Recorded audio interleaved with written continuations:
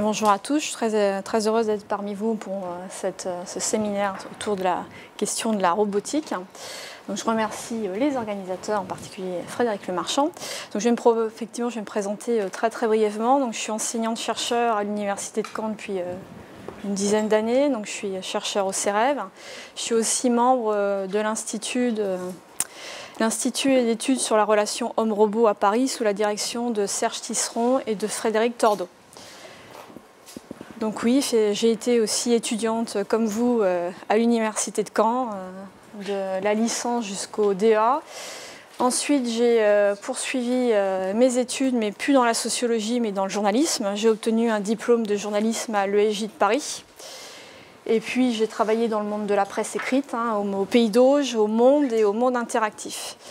Et ensuite, euh, j'ai entrepris un doctorat, alors pas un doctorat en sociologie, mais un doctorat en sciences de l'information et de la communication que j'ai euh, poursuivi à l'université Montpellier 3 sous la direction d'Alex Mukeli, que vous connaissez certainement, vous connaissez peut-être plus son père, Roger Mukeli, que vous avez certainement étudié dans le cursus de sociologie.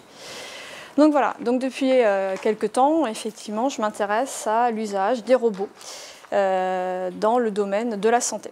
Alors ça fait plusieurs années que je voulais traiter euh, les robots. C'est un sujet qui m'intéressait euh, depuis euh, très très longtemps. Mais je ne voulais pas...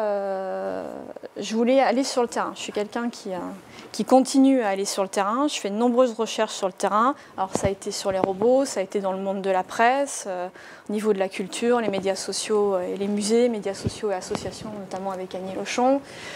Donc c'est un, impératif pour moi, c'est encore mon côté, sociologue. Hein. Il faut que je sois... Euh, voilà, il faut que j'observe, il faut que j'interroge les gens. C'est euh, quelque chose d'extrêmement important. Donc j'ai attendu plusieurs années avant de voir apparaître quelques robots qui commencent à envahir. Et envahir, je mets des guillemets, qui commencent à envahir, il euh, faut relativiser, hein, envahir notre quotidien. J'en ai fini avec ma petite présentation, j'ai rien d'autre assis. Depuis quelques temps aussi, je suis membre aussi de la chaire UNESCO sur les pratiques euh, journalistiques et médiatiques de l'Université de Strasbourg. Donc là, on s'intéresse avec notamment des collègues du CEREV, avec Vassili Rivron, que vous avez eu comme enseignant, et Elsa Jobert, et on s'intéresse à la notion d'information à l'ère du numérique. Voilà, notamment, euh, on appelle communément les fake news, mais qu'il faudrait plutôt appeler euh, les infox. Donc on travaille sur ce sujet. Donc je reviens à ma présentation. Donc cette dernière s'intitule, comme vous le voyez derrière, avec une illustration de mon fils. J'ai fait un montage Lego euh, pour cette séance. Euh, cette dernière s'intitule Des hommes et des robots vers une nouvelle cohabitation. Point d'interrogation. Donc j'avais fait une petite synthèse euh, de ma présentation. Et puis, euh, donc c'est ce que je disais dans, ma présentation, euh, ces êtres, ces créatures, euh, ces machines artificielles, eh bien, nous les rêvons, nous les imaginons, nous les concevons, nous les attendons depuis si longtemps. Et ils quitteraient, je dis bien ils quitteraient, le domaine de la science-fiction et certains laboratoires de recherche pour envahir, et là je mets des guillemets, envahir notre quotidien. Donc nous vivons en quelque sorte une période transitoire et vous l'avez peut-être constaté à Noël avec l'arrivée massive des robots jouets, le robot Cosmo. Vous l'avez peut-être constaté en allant faire vos achats de Noël ou euh, les Lego. Euh, je, pensais que je fais de la pub pour Lego, mais non. On a aussi les robots aspirateurs. On a aussi euh, le développement aussi de quelques robots dits humanoïdes, comme Nao et Pepper. On en reparlera un peu plus tard. Donc, il est évident que cette évolution est une réalité. Et cette évolution soulève de nombreuses questions. Effectivement, la relation que nous allons nouer avec cette machine est en effet appelée à devenir centrale. Pour quelles raisons Eh bien, de nombreuses études dans le champ de l'interaction homme-robot nous poussent à penser que nous aurons tendance à interagir avec elle d'une manière similaire à nos interactions avec d'autres êtres humains. Évidemment, tout cela euh, sera dépendant, bien sûr, des compétences que ces robots auront à l'avenir. On en discutera aussi un peu plus tard. Donc ma réflexion sur euh, les enjeux sociaux, les enjeux éthiques, corollaires au développement de, la robotique euh, sociale, s'engage, et j'insiste sur ce point, elle s'engage à relativiser, à prendre du recul sur la tendance à l'anthropomorphisation des robots, sur leur usage actuel et à venir, et aussi sur leur, la surpuissance attribuée à leur intelligence et à leur infaillibilité. Donc le but de ce séminaire, c'est de prendre connaissance des robots, de voir un petit peu leur histoire, et puis aussi euh, de relativiser sur les points que je viens d'évoquer. Alors, les questions... Euh, comment je fais Je vais peut-être revenir. Donc les questions qui vont guider euh, ce séminaire, c'est euh, effectivement euh, les représentations des robots que vous avez tous certainement qui sont issus de la culture. On va se demander si elles sont proches de la réalité. Et puis un robot pour être robot est-il forcément humanoïde, une corporité humaine? Un robot, pour être robot, doit-il ressembler à un homme ou à un chercheur que j'ai connu à l'université de Caen? Avec les, ouvrages, le genre, hein, est-ce qu'il doit être un vivant parlant? Et puis, existe-t-il un portrait type universel du robot? Euh, Est-ce qu'on peut dresser, euh, si vous le permettez, un portrait robot du robot actuel? Et puis, on va aussi s'intéresser, est-ce que chaque pays a la même vision du robot? Est-ce que chaque pays va proposer la même forme du robot? Est-ce qu'on va avoir le même design? Est-ce qu'on va avoir le même design sonore? Et puis, est-ce qu'il y a des usages différents euh, entre différents pays, comme notamment l'Amérique du Nord, le Japon et, euh, l'Europe. Et puis un point important, je vous ai dit, euh, je vais essayer d'avoir un regard, un regard de sociologue, d'avoir un regard objectif, neutre. Je vais vous proposer aussi un panorama des robots, et j'insiste sur ce point, des robots commercialisés et utilisés en Amérique du Nord, en Asie et en Europe. Et puis, on terminera, puisque on fait écho au CEREV, on terminera sur les risques. Les risques et les vulnérabilités liées justement à l'introduction des robots dans notre quotidien. Alors je vous, propose ce plan. Vous l'avez euh, à gauche, à droite, à vous devant vous. Donc première partie, robots au singulier ou robots au pluriel, point d'interrogation. Donc je vous proposerai une définition de ce que j'entends des robots. On verra aussi les robots dans la culture, comment ils ont été euh, traités dans la culture, que ce soit au cinéma, euh, dans les mangas, etc.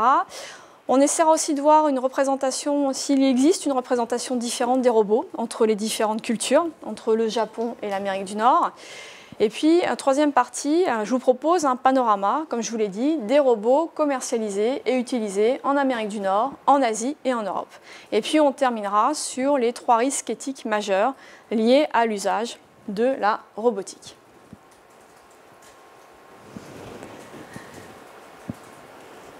Alors évidemment, cette intervention, elle n'a pas un souci d'exhaustivité. Je ne prétends pas détenir le monopole du savoir sur ce domaine. Elle prend appui sur de nombreux ouvrages, euh, des travaux, des auteurs les plus importants dans ce domaine. Alors ce ne sont pas que des auteurs en sciences humaines et sociales. Je suis allée aussi voir du côté des mathématiciens, des, informaticiens, des cybernéticiens. Et puis, vous l'avez compris, et j'insiste sur son sur ce point, son objectif c'est de synthétiser en quelques minutes les principaux acquis pour chaque thème et de soulever les questions essentielles à la robotique. Je dis bien, je soulève les questions, je n'apporterai pas euh, toutes les réponses. Vous aurez aussi à, à, y répondre. Eh bien, on va aborder la première partie. Donc venons-en à la première partie que j'ai intitulée Robot ou robot.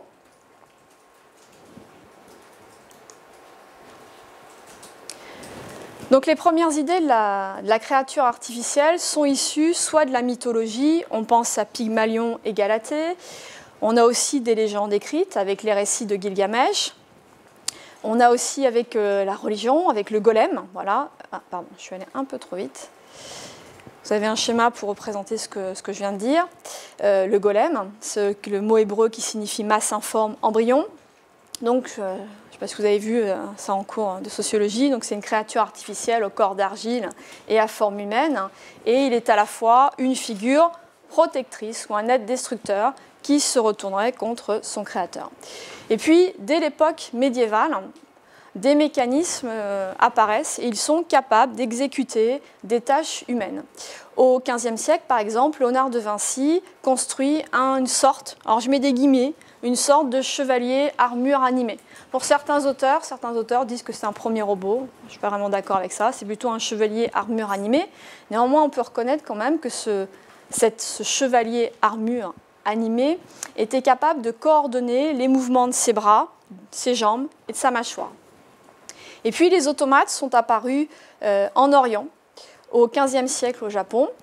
Donc c'était surtout essentiellement des petits automates euh, serveurs de thé avant d'être présentés dans les cours royales d'Europe. Donc euh, les automates vont euh, investir les cours royales au XVIIIe siècle et vous connaissez sans doute le fameux canard digérateur de Jacques de Vaucanson. Oui, c'est un grand canard et c'est un canard mécanique et ce canard pouvait boire, se nourrir, cacter, digérer sa nourriture et même déféquer.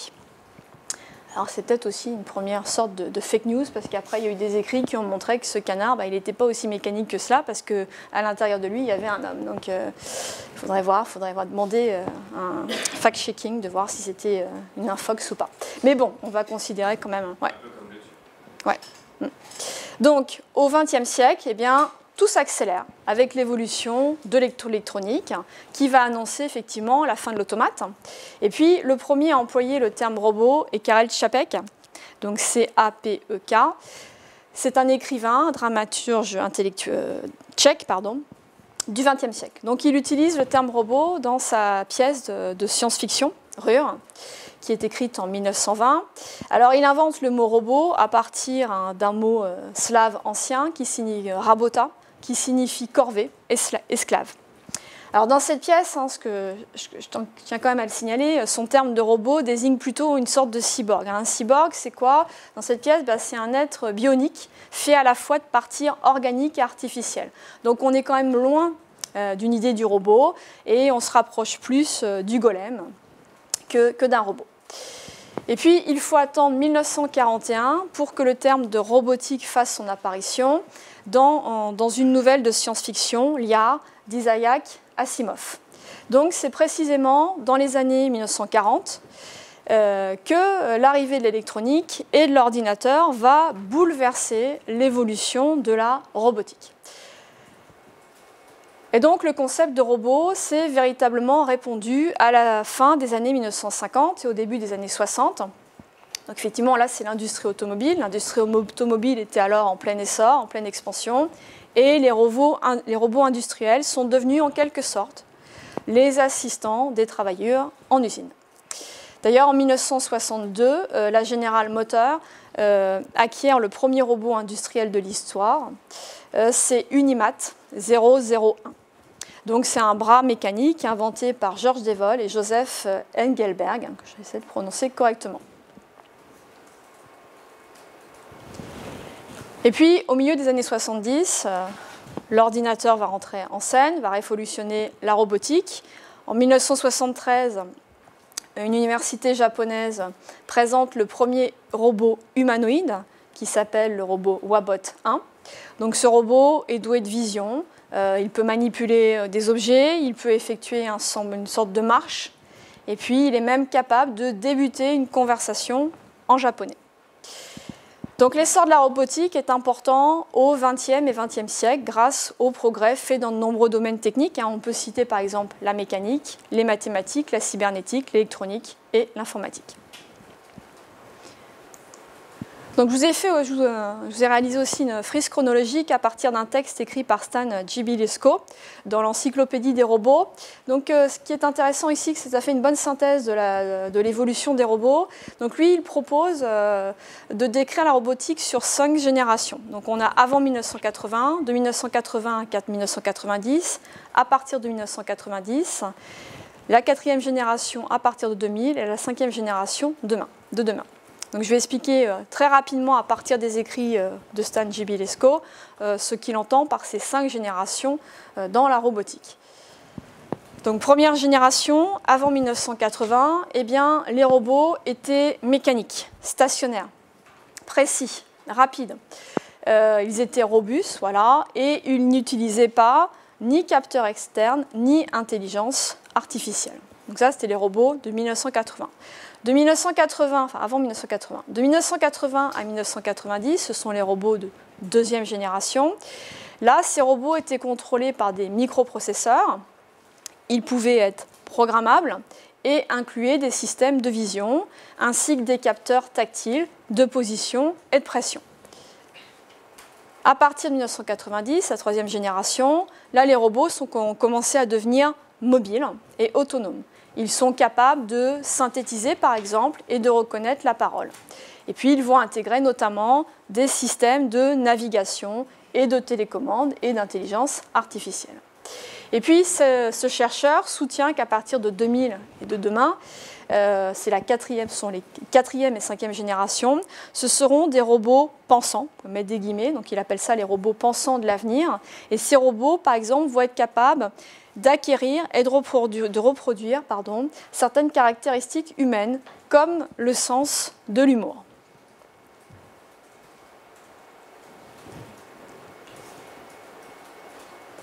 Donc ces cinq générations, ça c'est intéressant pour synthétiser très rapidement l'évolution de la robotique. Et puis, le début du XXe siècle voit apparaître les robots domestiques, hein, je vous l'ai euh, cité en introduction, destinés au grand public. Donc, on pense principalement aux robots aspirateurs, aux robots piscines et puis aux robots tondeuses dites autonomes. Et puis, euh, la robotique euh, contemporaine repose de plus en plus sur des technologies d'intelligence artificielle qui vont permettre notamment euh, le développement de capacités de type humain. Donc on peut citer euh, la perception, euh, l'usage du langage, l'interaction, la résolution de problèmes, l'apprentissage et même la créativité. Et puis certains chercheurs, notamment Laurence de Villers, une roboticienne française, travaillent notamment sur l'humour, comment donner du sens de sens de l'humour à un robot. Alors vous allez me dire, c'est bien, on a vu un petit peu l'histoire, etc., mais on n'a pas encore eu de définition de robot, du robot. Donc effectivement, là, je vais essayer de vous proposer une définition de, de ce que j'entends par robot. Alors ce qu'il faut savoir, c'est que sur cette définition de robot, c'est un sujet houleux. C'est qu'il n'y a pas de consensus sur la définition de, ce qu'est un robot. Et avec euh, des fois, avec les roboticiens, tout ça, on n'est pas, on pas toujours d'accord. Donc, je vais essayer de trancher. Donc, avec toutes mes lectures et les discussions que j'ai eues avec les spécialistes dans la robotique, je vais vous proposer cette définition avec à partir effectivement d'un schéma. Donc, à l'aide de ce schéma, qu'est-ce que j'essaie de vous montrer? Je vous montre qu'un robot, peut être défini comme une machine munie de capteurs. Et ces capteurs vont lui permettre de recueillir des informations sur son environnement. Donc un robot, c'est une machine, il ne faut pas oublier que c'est une machine, qui va être munie de capteurs et qui vont lui permettre de recueillir les informations sur son environnement. Donc ces stimuli vont être analysés en temps réel par des processeurs qui vont permettre au robot de déterminer ses actions. Bref, ce qu'il faut retenir dans cette euh, définition, et là je me base sur les travaux de Norbert Weiner, il faut retenir que les robots ont trois éléments en commun. Ils ont un corps ou un processeur qui va exécuter un ou des programmes, et ils sont munis de capteurs pour réagir à l'environnement sans l'intervention humaine.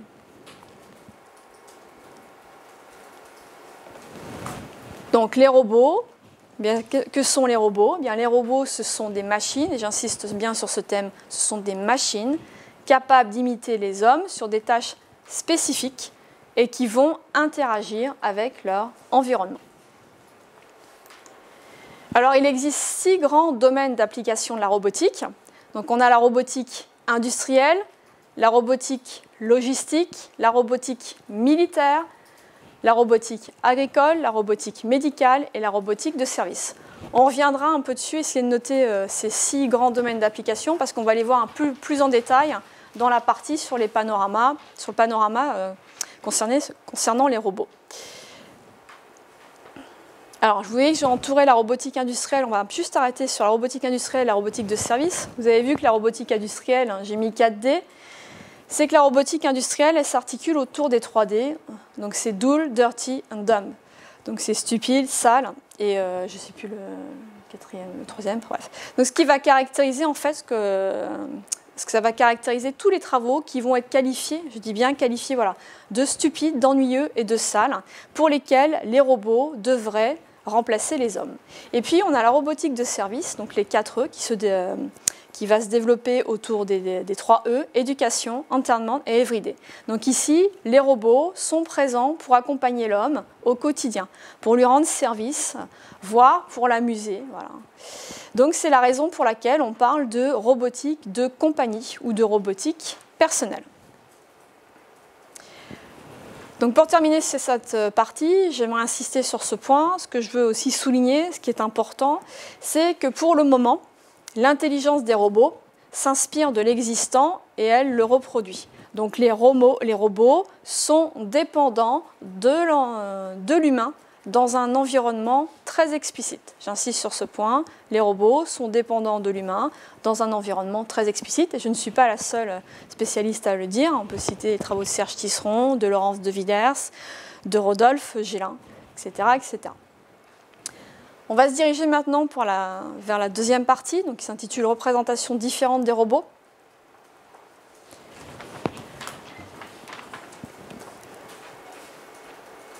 Donc ici, donc mon imaginaire, notre imaginaire, votre imaginaire est marqué par une ou des œuvres littéraires cinématographiques, notamment sur les créatures artificielles.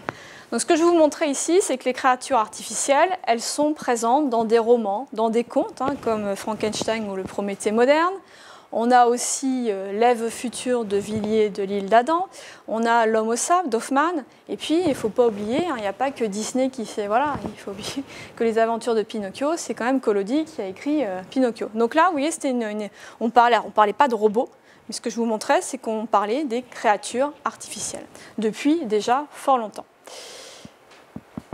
Et puis, euh, dans le milieu du XXe siècle, elles sont présentes dans la littérature, en particulier dans le domaine de la science-fiction ou du fantastique. Hein. On peut citer euh, le grand livre des robots d'Asimov, et puis les moutons, euh, les androïdes rêvent-ils de moutons électriques de Philippe Cadic.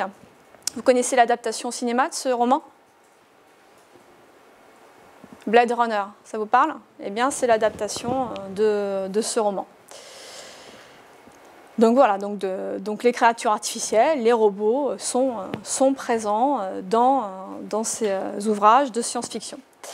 dernièrement aussi, Marie Dariussec a écrit un livre aussi en 2017 qui s'intitule Notre vie dans les, dans les, forêts, où elle parle aussi de la robotique. Et puis il y a aussi Deborah Install en 2017 qui a écrit un roman qui s'appelle Il y a un robot dans le jardin. Et puis effectivement, les robots, décidément, les robots, ils sont surtout présents dans les mangas. Donc une thématique est baptisée Mecha. Donc les mechas, c'est la représentation des, grands robots. Voilà, donc c'est devenu un, sous-genre à part, entière des mangas et des dessins animés. Donc là, vous avez une représentation euh, euh, avec Astro Boy, donc le petit robot, qui fait son apparition en 1952 euh, sous le, crayon d'Osamu Tezuka. C'est la première fois qu'on va raconter les histoires d'un robot dans un manga.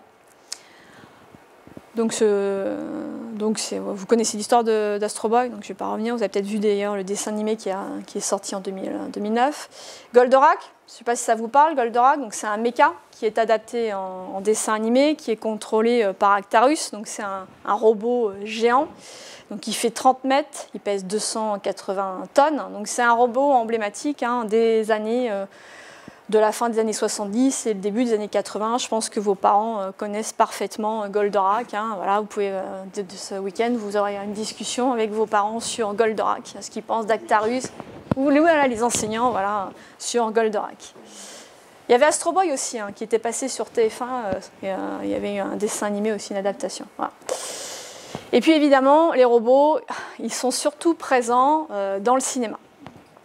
Donc c'est en 1890 que Georges Méliès, hein, euh, un réalisateur français qu'on a tendance à quand même oublier hein, c'est quand même le père des effets spéciaux. Donc il a réalisé un court métrage euh, qui s'intitule Gugus et l'automaton ou le clown et l'automate. Donc c'est ce film représente un, clown euh, qui est étonné, qui se retrouve face à un automate. Donc c'est la première apparition, on va dire, une sorte de robot, d'un automate dans le cinéma. On peut citer aussi avec euh, Métropolis, hein, vous voyez euh, la, photographie en noir. Donc Métropolis, c'est un film qui est sorti en 1927. Hein. Donc là, c'est un, robot, une sorte de robot femme fatale, voilà, qui a été créé.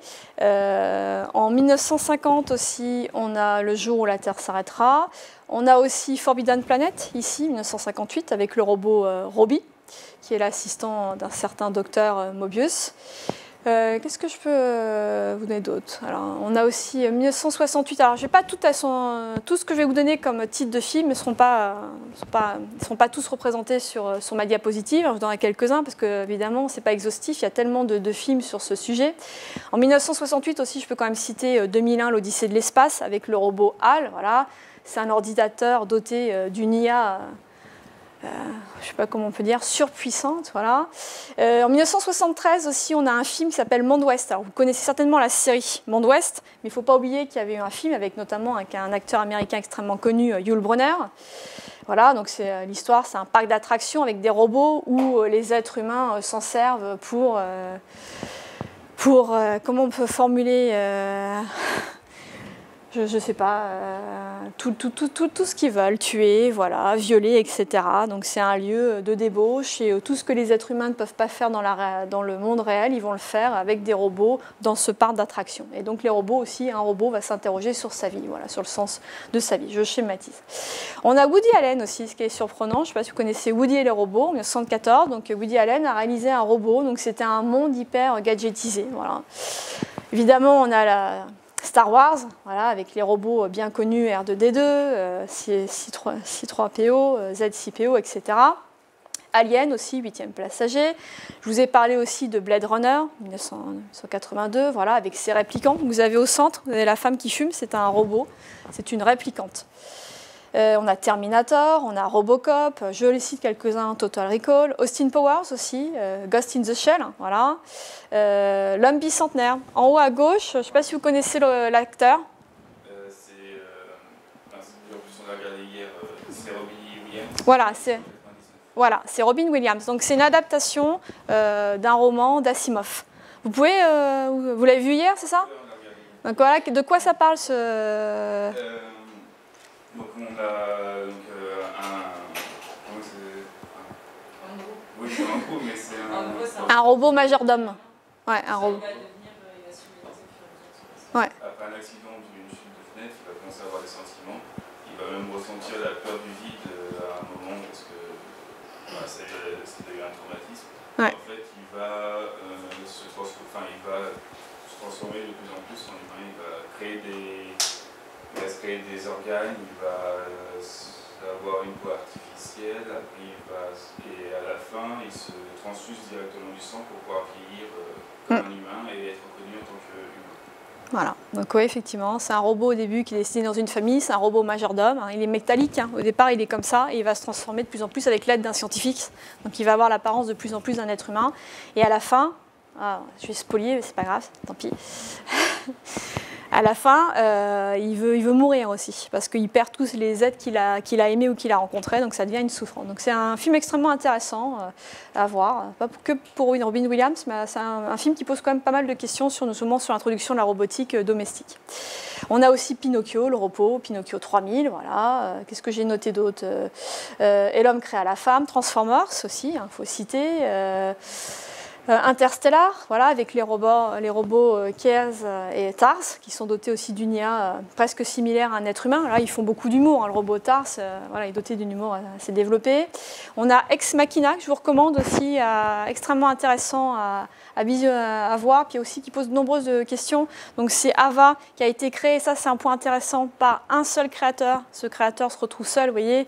Et Ava, bah, c'est un robot avec une corporité, vous voyez, c'est une femme et qui, euh, qui est doté d'une intelligence artificielle assez hein, complexe et qui, voilà, qui va, je ne vais pas tout raconter, mais c'est extrêmement intéressant à voir. Je ne vais pas spolier celui-ci, voilà, euh, je ne vais pas tout raconter, mais à voir. Mais ça pose la question effectivement euh, du créateur, du rôle du créateur du robot dans la conception des, robots et de quelles limites on peut mettre dans le robot avant qu'il ne soit peut-être trop tard. Mais, voilà. On a Blade Runner aussi 2049, hein, en 2017, voilà, qui fait suite à Blade Runner. Donc oui, j'aurais pu vous donner d'autres exemples de robots, mais pour vous montrer que les robots sont bien présents dans le cinéma. Et puis les robots sont également présents. Alors là, on passe aux séries. Petite parenthèse, Il ne faut pas oublier les films d'animation. Hein. Euh, les robots, ils sont présents depuis 1986. On a le château dans le ciel, on a le géant de fer, on a Wally, on a euh, les nouveaux héros avec le robot Baymax, aussi assez intéressant à observer.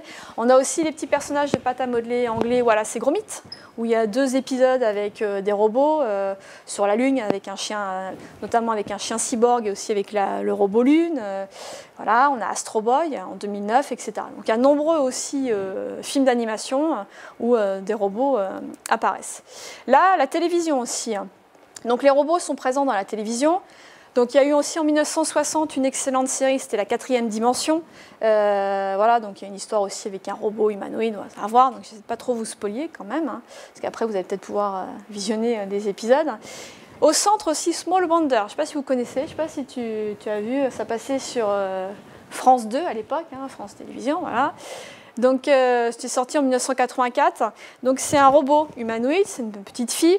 Donc, elle a été créée par un chercheur et elle, elle va vivre dans une famille. Donc, il va y avoir elle va avoir un père, entre guillemets, un père, une mère et un, grand frère. Donc, on va voir les péripéties de ce petit robot humanoïde, comment il va prendre sa place au sein d'une famille, voilà, etc.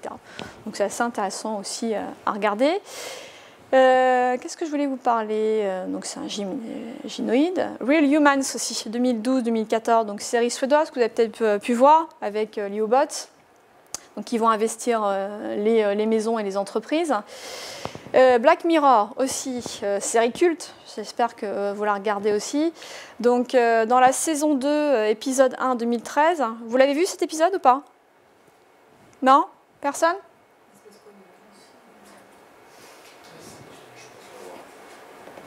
Donc là, vous voyez l'homme avec son débardeur, c'est un robot. Devant lui, euh, on va dire, enfin, je sais pas comment. Donc l'histoire, c'est que cet homme-là va se tuer en voiture. Il a, il a une veuve qui est enceinte, elle, a du mal à faire, faire, son deuil, etc. Et elle va, on parlait de traces, elle va récolter toutes les traces numériques que son mari a laissées sur, sur le web, etc.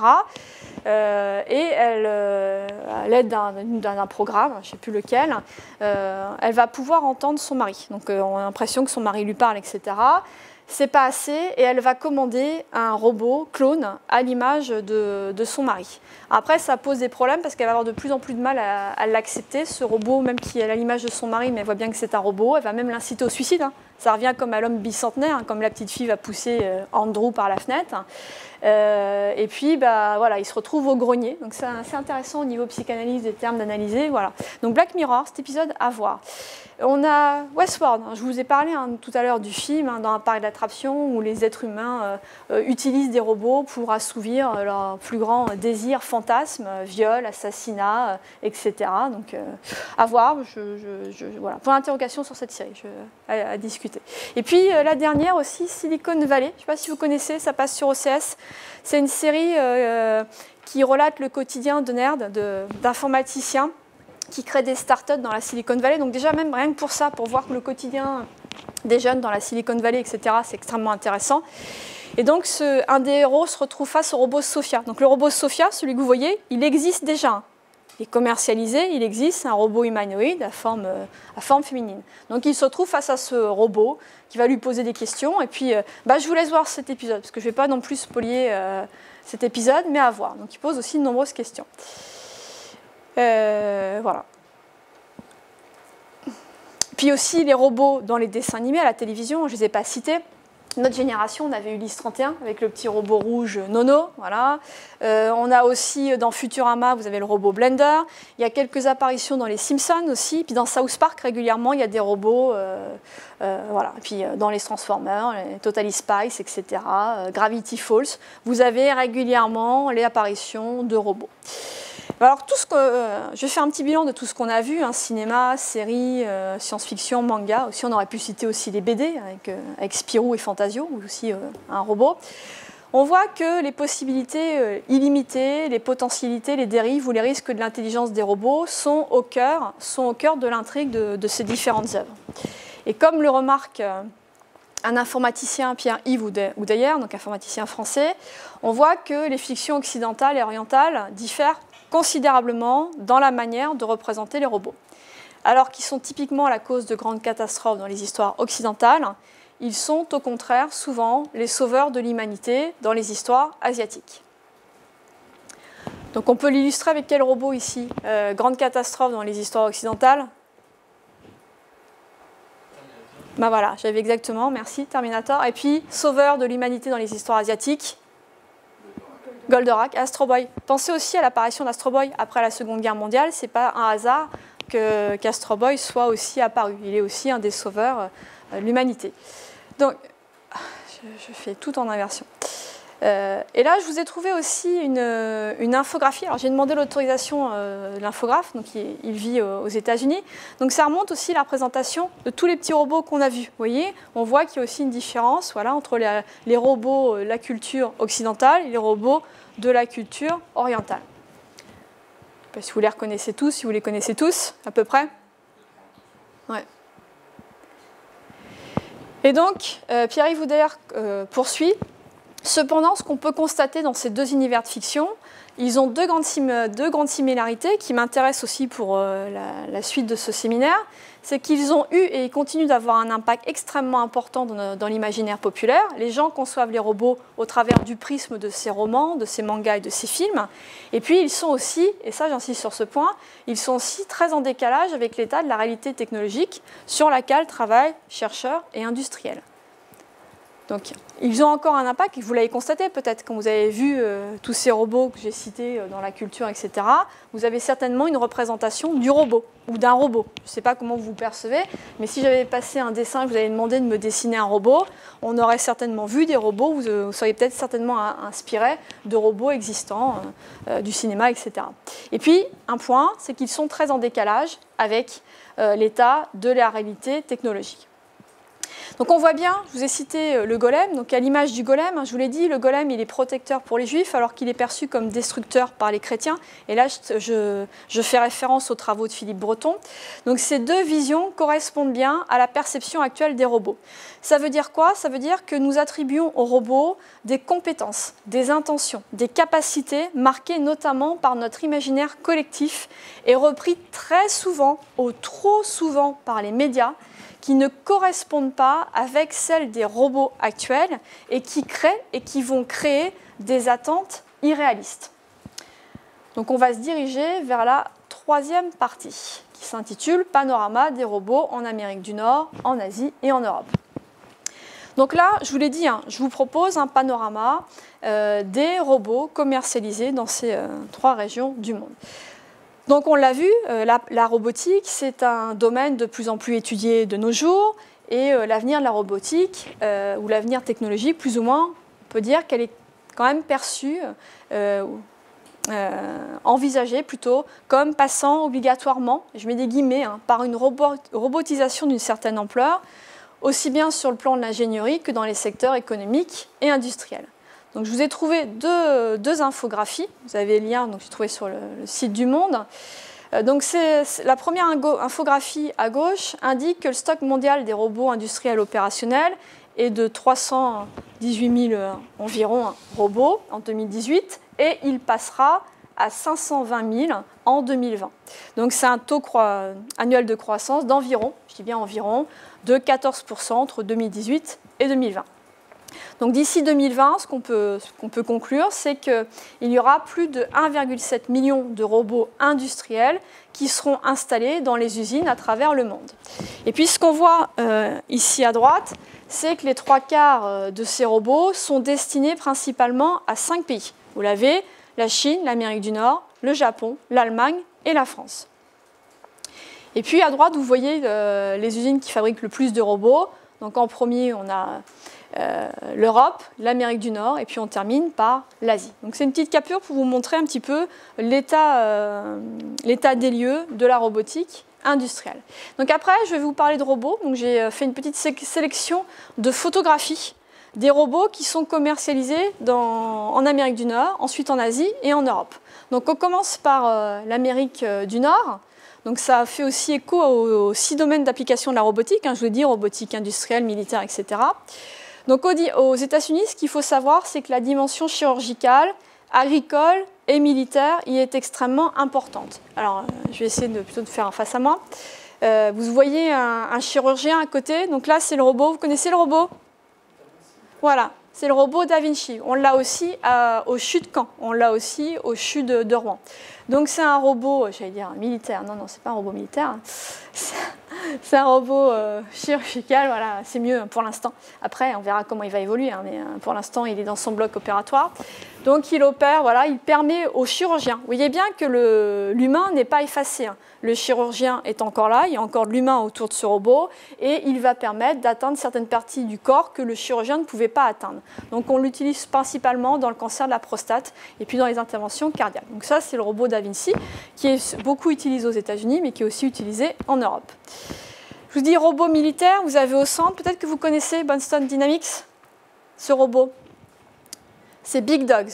Donc c'est un robot militaire voilà, qui est destiné à porter des charges importantes sur des zones de combat pour éviter justement que les êtres humains euh, euh, s'y rendent. On a aussi en haut euh, à droite, c'est un robot agricole. Donc effectivement, les États-Unis s'intéressent de plus en plus aux robots. Alors ça peut être robot cueillette, etc. désherbant. Je crois que c'est un robot désherbant. Euh, quoi d'autre? Oui, en bas, vous avez une femme en peignoir. À côté, il y a une petite boîte. Eh bien, c'est un robot. Donc, c'est un robot majordome. Donc, euh, donc, il y a quelques hôtels américains. J'ai vu que j'ai lu ça dans les articles. Hein, Boston, Buffalo, Los Angeles, New York et Las Vegas vont accueillir ces robots majordomes. Donc ces robots, ils vont faire des livraisons en interne. Par exemple, vous téléphonez à la réception, même pas, hein, vous êtes peut-être encore euh, Siri ou je sais pas quel autre, voilà, et, euh, vous leur demandez euh, un café, un thé, enfin même en a déjà, mais voilà, un sandwich, et ce robot va vous l'apporter. Donc, j'ai trouvé ça dans les articles, donc je suis allée sur booking.com. J'ai été euh, vérifiée, hein. je fais le travail de fact-checking, hein, puisque avec le, temps des fake news, il faut tout vérifier. Donc je suis allée euh, sur booking.com et j'ai trouvé des commentaires. effectivement, il y a des commentaires sur ces robots. Et les commentaires sont assez positifs voilà, sur ces robots, euh, sur ces robots majordomes. Vous avez bah, le robot noir au centre, voilà, qui ressemble à une galette. C'est un robot aspirateur, on ne va pas revenir dessus, qui se développe aussi beaucoup aux États-Unis. À côté, je ne sais pas si vous connaissez, un robot jouet c'est iBot Sony. Vous savez, c'est un robot jouet qui a été euh, arrêté de produire pendant un certain temps. Ils ont relancé ce robot euh, l'année dernière. Donc c'est un robot jouet qui, euh, est beaucoup commercialisé aux États-Unis. En bas, je crois que c'est un magasin, c'est une chaîne Walmart, il me semble, à vérifier. Donc c'est un robot de logistique qui va aider dans, dans les entrepôts, voilà, les salariés à porter des charges lourdes, etc. Donc c'est un secteur qui est beaucoup développé aux États-Unis. Euh, les petits robots à forme humanoïde, orange et bleu.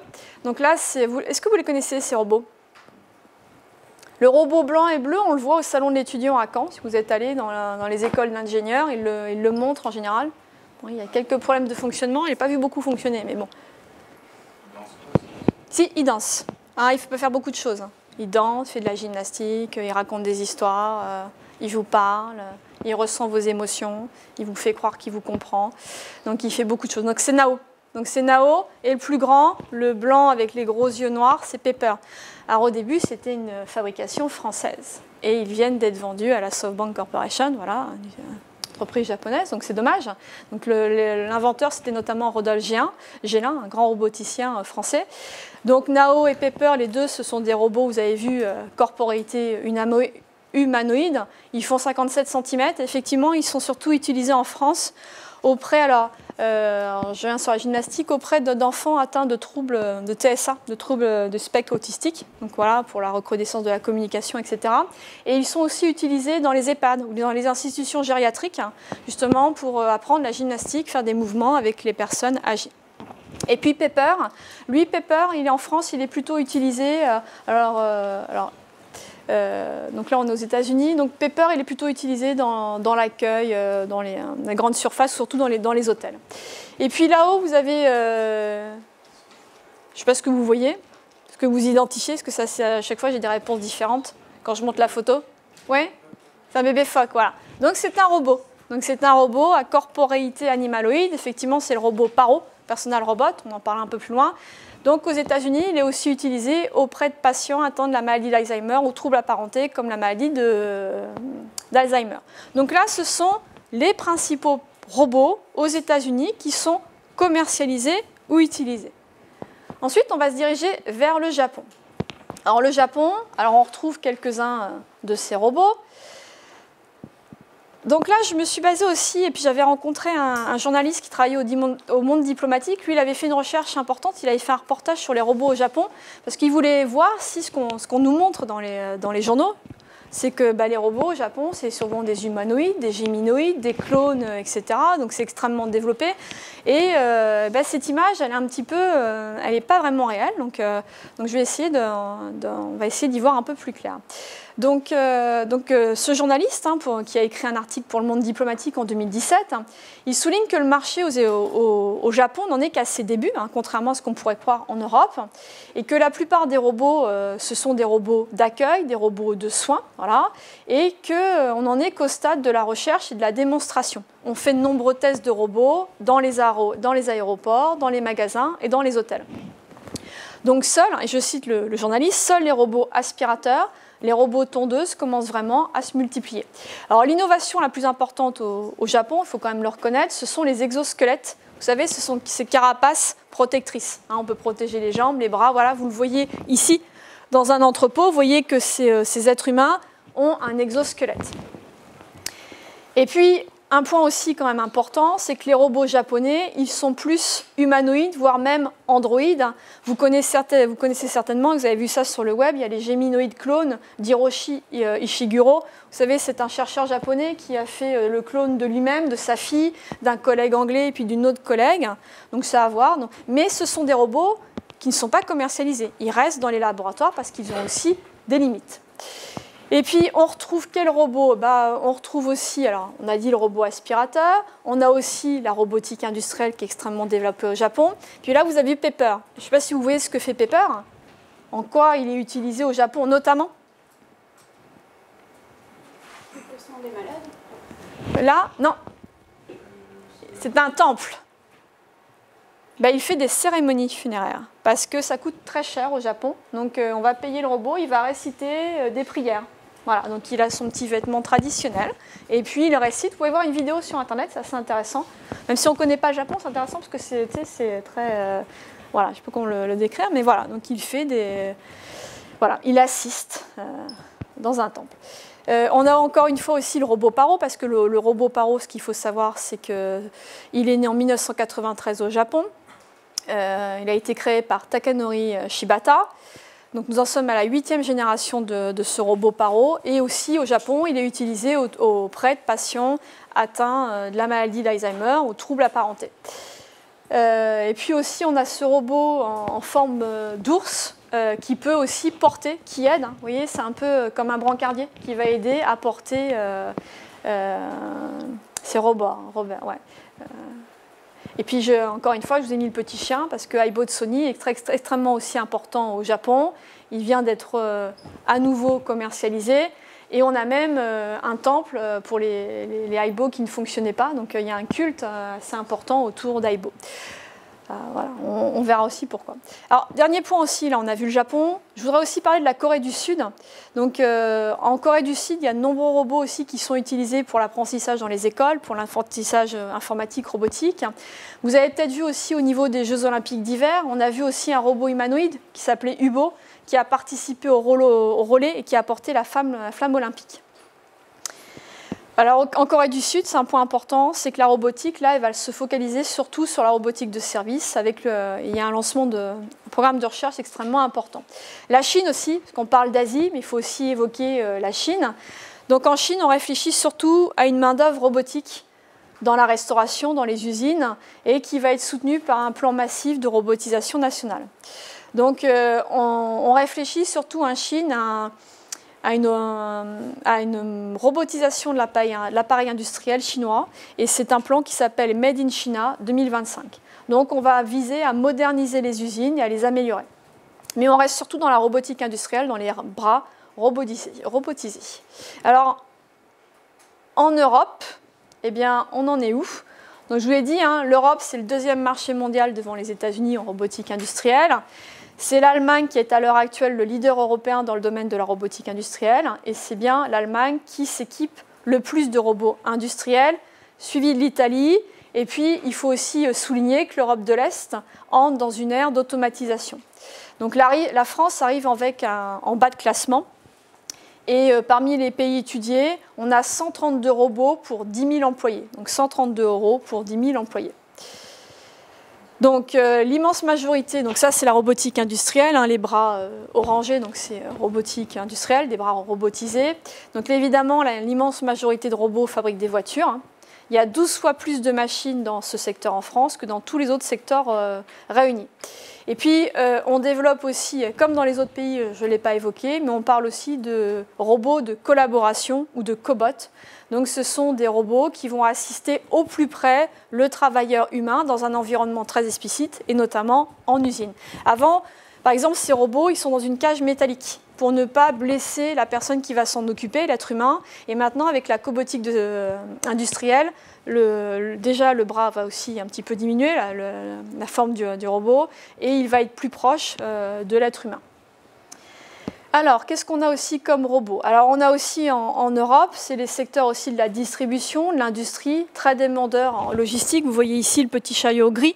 Donc, c'est la robotique euh, logistique, hein, qui vont être surtout présents dans les entrepôts et aussi euh, dans les hôpitaux, hein, qui vont être utilisés dans les zones de stockage. Donc, à l'hôpital, on trouve des machines logistiques qui vont livrer le matériel ou les médicaments. Et d'ailleurs, le chute camp vient euh, d'accueillir deux ou trois robots spécialisés dans la logistique. Viennent ensuite, comme dans, les autres pays, on a aussi euh, le robot Da Vinci, hein, des robots médicaux, hein, je vous l'ai dit, un robot chirurgien extrêmement sophistiqué, hein, sous le contrôle, et j'insiste bien, sous le contrôle d'un chirurgien d'une équipe médicale, qui va permettre de, réaliser des opérations de plus en plus précises. Euh, qu'est-ce que je voulais vous montrer? Robotique militaire aussi en France. Euh, on a des robots, voilà, des drones de surveillance et surtout des robots de déminage et aussi des robots d'assistance au combat, au combat, et puis des robots qui vont aller aussi, qui vont accéder dans des zones de combat, les zones urbaines où les, soldats ne peuvent pas aller. On a aussi ici, euh, je ne sais pas si vous voyez euh, le robot bleu là, je ne sais pas si vous voyez ce que c'est comme type de robot. Alors pour moi c'est euh, à droite, c'est un robot domaine de la robotique agricole. C'est un robot de traite. Donc c'est un domaine de la robotique qui est extrêmement développé en France. Donc on peut citer les robots, alors, on l'a dit, les robots de traite, les robots de cueillette, les robots de labour, de désherbage, de surveillance des champs. Et puis les économistes, hein, ça va t'intéresser euh, Frédéric, je, cite, hein, les économistes euh, voient un certain intérêt pour euh, cette robotique agricole et ils le placent comme le second marché pour la robotique de service à l'horizon 2025. Et puis évidemment, alors au centre, là, vous voyez un, un, robot sur roulette avec un, écran. Donc ça, ce sont des robots de téléprésence. C'est surtout la société BIN qui les, qui les, commercialise. Donc ce sont des robots qui vont être utilisés, par exemple, si demain euh, vous êtes malade, on imagine hein, que l'université de Caen euh, va accueillir ces robots de téléprésence. Vous êtes malade, vous êtes gravement malade et vous ne pouvez plus venir en cours. Eh bien, l'université de Caen, je dis peut, hein, ou pourrait mettre à votre disposition un robot de téléprésence. Donc euh, vous êtes chez vous, sur votre lit, alité, voilà, et euh, vous avez un écran et votre robot, euh, vous interagissez avec la salle, avec l'enseignant, etc. Donc le robot vient à votre place en cours. Plutôt intéressant comme idée. je dis ça. on a les robots jouets encore, iBot Sony hein, qui, qui, revient. Cosmo. Alors vous voyez peut-être, vous connaissez peut-être Cosmo avec les yeux bleus. Ça vous parle ce robot Cosmo? Peut-être que votre petite sœur, votre petit frère euh, a accueilli euh, Cosmo euh, à Noël, je sais pas. robot gris, voilà, lumineux. Donc là, c'est un robot de kit de robotique. Donc on a au robot d'Orange et là, c'est Timio d'Inria Flowers. Donc ce sont des kits, hein. on organise des séances soit à l'école, très rarement à l'école, on va quand même le dire, plutôt dans, les, dans les MJC ou les centres de loisirs ce sont des ateliers pour apprendre la programmatique l'informatique ou la robotique. D'ailleurs, on va organiser, il y a des, coupes, hein. on a la Robocup, hein. je vous rappelle qu'à Bordeaux, euh, il va y avoir la Robocup avec des robots footballeurs euh, au printemps 2019, donc si vous voulez y assister. Euh, donc robotique, encore une fois, robotique de service qui est extrêmement importante avec les robots tondeuses, les robots aspirateurs. Et puis, on termine sur Nao Paper et Paro. Donc c'est vrai que je ne vous ai pas donné, euh, je garder ça un petit peu pour la fin. Donc c'est une stratégie européenne voilà, pour le développement de la robotique de service. Donc on va s'intéresser surtout à des robots. Donc là, ce sont des robots particuliers, on les appelle des robots sociaux ou des sociobots. Donc un robot social, c'est quoi? C'est un robot qui va identifier les émotions d'un humain en se basant sur des indices euh, physiques, ça peut être les mimiques, la posture. Et une fois les réactions identifiées, ces robots sociaux ou ces sociobots vont y répondre avec des expressions et des gestuelles adaptées. Et ils vont entretenir l'illusion euh, de comprendre les états affectifs de l'homme et d'y être sensible. On appelle ça, pour faire référence à Serge Tisseron, à l'empathie artificielle. Donc parmi ces sociobots, on retrouve ce qu'on a vu précédemment. Donc, euh, on a euh, Pepper. Donc Pepper en France et en Europe, il est surtout utilisé en entreprise. Je ne sais pas si vous avez vu à la SNCF, ils, ont fait quelques tests avec Pepper pour accueillir des voyageurs. Et puis on a aussi dans le tourisme et aussi dans l'univers de la distribution, euh, Carrefour a utilisé Pepper. Nao, pareil, Nao, ils peuvent être utilisés aussi dans le niveau de l'accueil. Hein. Sephora a utilisé Nao il y a quelques temps. Euh, euh, Guerlain aussi, il me semble. Mais Nao, il est surtout utilisé comme auprès d'enfants atteints de, de, TSA et puis auprès de personnes âgées en institution gériatrique. On a Paro, hein, je vous l'ai dit, Paro utilisé en institution gériatrique. Hein, donc voilà, donc on pourra en parler un peu plus, euh, longuement sur Paro et Nao euh, après euh, ce séminaire. Donc je termine sur ce panorama. Il faut aussi souligner que le Parlement européen s'intéresse aussi depuis quelque temps à la création d'une personnalité juridique pour les robots. Il prévoit de réglementer leur impact sur la société, l'économie et l'emploi. Donc l'Union européenne a lancé aussi des programmes de soutien à la recherche, des semaines de sensibilisation en faveur de la robotique. Et puis, elle organise aussi des challenges, hein, comme euh, l'European Robotic Leagues. Alors, je conclus cette partie.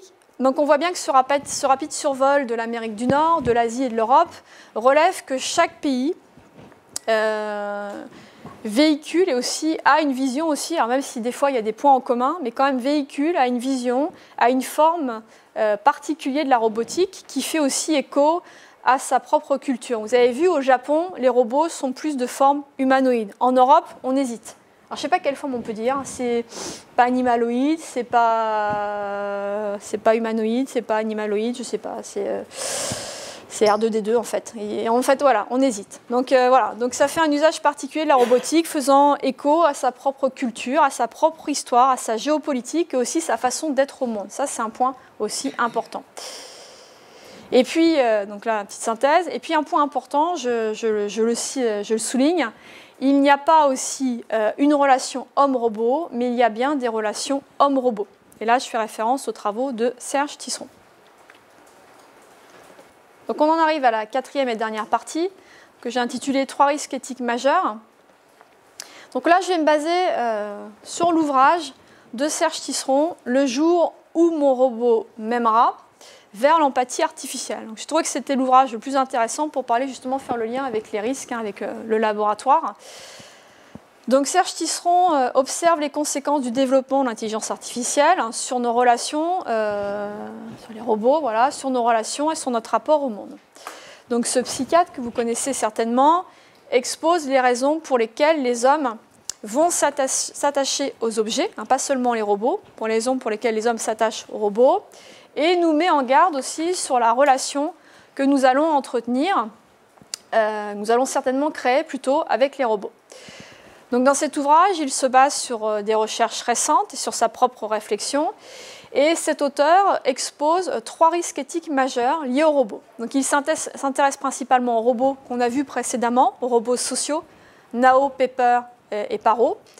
Euh, donc ces robots qui vont accompagner et accompagneront notre quotidien.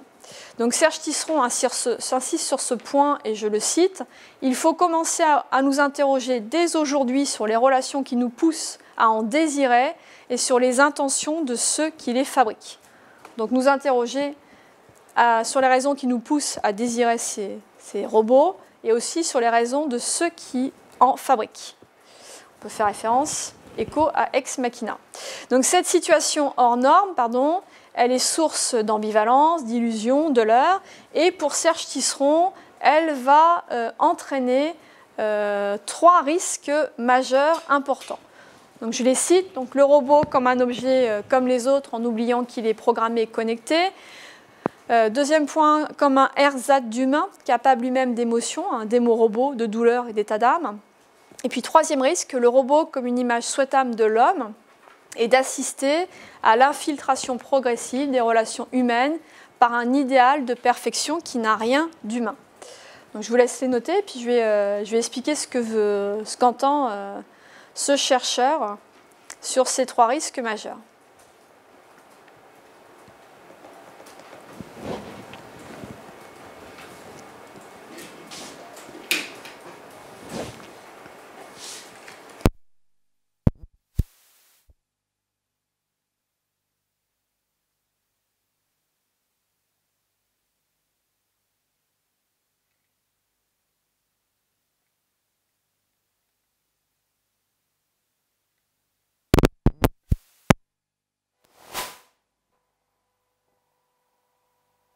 Va permettre d'envoyer des données vers un servant distant à la disposition de leur fabricant. Donc euh, après, qu'est-ce qu'on va en faire? Peut-être de la publicité programmatique, de l'achat programmatique. Et je vous rappelle, hein, pour illustrer cet exemple, les aspirateurs de la marque Romba, euh, il y a eu un petit, un petit scandale l'année dernière, je ne sais pas si vous avez entendu parler de ça, c'est que si vous aviez un aspirateur Romba, eh bien votre aspirateur, il était en train d'aspirer vos données. Il calculait euh, les superficies des pièces de votre maison, il savait euh, si vous étiez présent, etc. Donc il a bien aspiré vos données. Et ce qui a été assez intéressant, c'est que la société a publié un communiqué de presse. Alors SSQ, je ne me souviens plus exactement, mais surtout elle dit que pour l'instant, elle ne sait pas ce qu'elle va faire de ces données. Donc voilà, donc c'est quand même assez, euh, assez spectaculaire. Bref.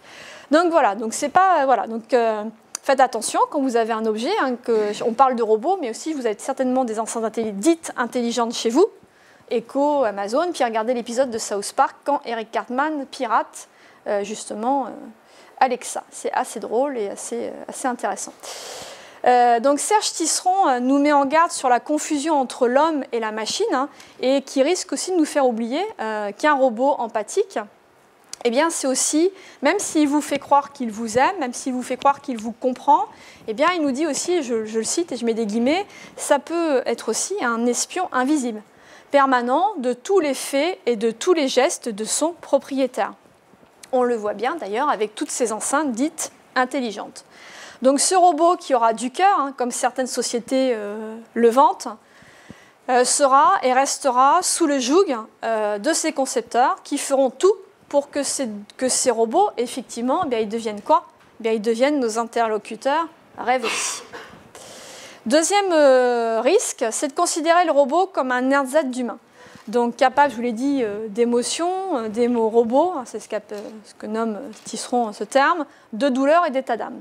Donc par exemple, quand le robot aura l'apparence d'un humain capable de synchroniser, et vous avez vu Paro, on pourra peut-être voir, si on a le temps tout à l'heure de voir une petite vidéo de Paro. Paro, il est tout fait. Hein. Il a ce côté kawaii japonais. On a agrandi ses yeux. Quand on le voit, tout le monde pousse des petits cris, etc. On a l'impression d'être dans un concert de band blanc. Donc j'arrête, j'exagère, mais, vous voyez ce que je veux dire. C'est que tout va être fait pour que ce robot, qu'il ait une apparence humaine ou qu'il ait une apparence euh, d'un animal, il soit capable bah, de, vous attirer, de, vous capter, hein, de vous capter. Et puis, euh, le robot, il va se synchroniser avec vos mimiques, vos gestes et vos attitudes. Donc il va aussi avoir un pouvoir de manipulation voilà, qui pourra être énorme, en fonction aussi des intentions des concepteurs et des fabricants de robots. Donc, euh, donc, dans ce risque, ce chercheur craint aussi que ces robots sociaux dits intelligents modifient nos relations avec nos semblables. Donc ce n'est pas le robot en lui-même qui est problématique, c'est aussi notre désir pour lui. Et puis troisième risque, euh, c'est de projeter sur le robot une image souhaitable de l'humain d'assister, euh, comme il le dit, hein, je le cite, à une infiltration progressive des relations humaines par un idéal de perfection qui n'a rien d'humain. Vous avez peut-être vu ce terme de théodicée. Euh, donc le robot sera apprécié pour son efficacité, sa prédictibilité en tant que confident euh, patient, courtois, aimable et surtout non contrariant. Votre robot, il ne va pas vous contrarier, il ne va pas vous dire non il va toujours aller dans votre sens, votre robot. Il va faire ce que vous souhaitez, il va faire ce que vous aimez. Et ce n'est pas toujours ce qu'est un, un être humain. Un être humain, c'est souvent contrariant. Donc peut-être qu'en vivant avec ces robots, on sera de moins en moins patient. On supportera peut-être moins en moins l'imperfection des êtres humains. Donc c'est ce qui pourrait être à terme nous faire préférer notre robot qui va être prévisible à l'être humain qui va être imprévisible, devenu en quelque sorte moins tolérable. Je conclus sur cette partie. Donc effectivement, et je rejoins les propos hein, de Serge Tisseron, de Laurence de Villers, de Rodolphe Gélin, de Cynthia Fleury, etc., etc. Tous ces chercheurs qui travaillent sur la question de la robotique, surtout la question de l'éthique et de la robotique. Il est temps de réfléchir à la place de robots humanisants. Ça, c'est les termes, encore une fois, de Serge Tisseron plutôt que de robots humanoïdes. Et puis un robot humanisant, c'est quoi? C'est un robot qui est programmé pour inciter les humains à établir des liens ou des relations entre eux, les aider à entrer en contact les uns avec les autres, à créer des solidarités et aussi à respecter les valeurs d'égalité entre tous les hommes. Donc la protection de la vie privée, le droit de se déconnecter de ces objets. Alors objet, c'est un néologisme de, Serge Tisseron, objet, c'est robot et objet. Et la réflexion à l'égard des robots que nous voulons sont essentielles aujourd'hui pour anticiper nos vies présentes et aussi nos vies futures avec les robots. Donc je me dirige vers la conclusion. Euh, voilà, donc ça c'est ma synthèse aussi. Hein. Je vous l'ai dit, hein. il va falloir aussi réfléchir voilà, à ce qu'on veut accueillir comme robots. Et puis je vous rappelle, hein, ces robots seront toujours en lien avec les fabricants de robots, alors les AFAMA, moi je ne les appelle pas les GAFAM. Je trouve que c'est un abus de langage. Donc AFAMA, c'est Apple, Facebook, Amazon, Microsoft et Alphabet. Et Alphabet, je vous rappelle, c'est la société Google. Google, c'est le moteur de recherche et la société mère, c'est Alphabet. Donc le terme GAFAM, il faut le, mettre de côté. Et puis le terme AFAMA est tellement intéressant. Notre terme psychanalytique à analyser AFAMA. Bref. Donc conclusion. Donc j'en arrive à la conclusion. Euh, donc effectivement, le robot, ou plus exactement les robots, vous l'avez compris, on parle plutôt en termes de, de, pluriel, les robots sont bien des objets culturels et il faut les placer dans leur environnement pour mieux les observer, les comprendre, les étudier, les analyser et les apprivoiser. Donc le contexte est bien primordial dans la conception, le design, qui soit visuel ou sonore, dans l'affordance, l'acceptation sociale, l'usage, la fonction et la réglementation des robots. Bien entendu, les robots soulèvent des questions sociétales, légales et éthiques, induites notamment par le stockage et l'exploitation algorithmique et potentielle de nos données personnelles, collectées notamment au sein de la sphère privée. Donc il nécessite de s'interroger sur la traçabilité numérique des données issues des interactions entre les différents membres de la famille, et le robot, ainsi que des interactions intrafamiliales voilà, médiatisées par le robot, euh, en lien avec son fournisseur. Donc ces questions montrent que les robots brouillent les frontières entre l'humain et la technologie et soulèvent des interrogations fondamentales quant à la responsabilité, à la capacité d'action et peut-être au statut moral des robots. Donc la robotique de service, c'est surtout la robotique sociale, comme Nao, Pepper et, euh, et Paro adapté pour la santé notamment, euh, s'accompagne et s'accompagnera d'une multiplicité d'usages qui pourront mettre en question les normes juridiques et provoquer des questionnements moraux ou et éthiques. Donc il faut savoir que nous ne pourrons pas donner les mêmes droits aux robots, voilà. nous ne pouvons pas les mêmes donner les mêmes droits moraux et les mêmes responsabilités que les nôtres, et que les aspects euh, juridiques, moraux et éthiques restent à réfléchir. Donc rappelez-vous euh, un robot, ce n'est qu'une machine, ou plus exactement un robot ou un objet. Et il faut juste, comme le souligne si bien Rodolphe Gélin, je vous l'ai dit, un créateur de Nao et de Pepper, il faut établir un contrat de confiance entre les fabricants et les diffuseurs de ces robots. Et ce qui va rejoindre aussi les propos de Serge Tisseron, il faut mettre en avant les droits des humains face aux robots plutôt que les droits des robots face aux humains. Donc il est bien temps d'y réfléchir tous ensemble.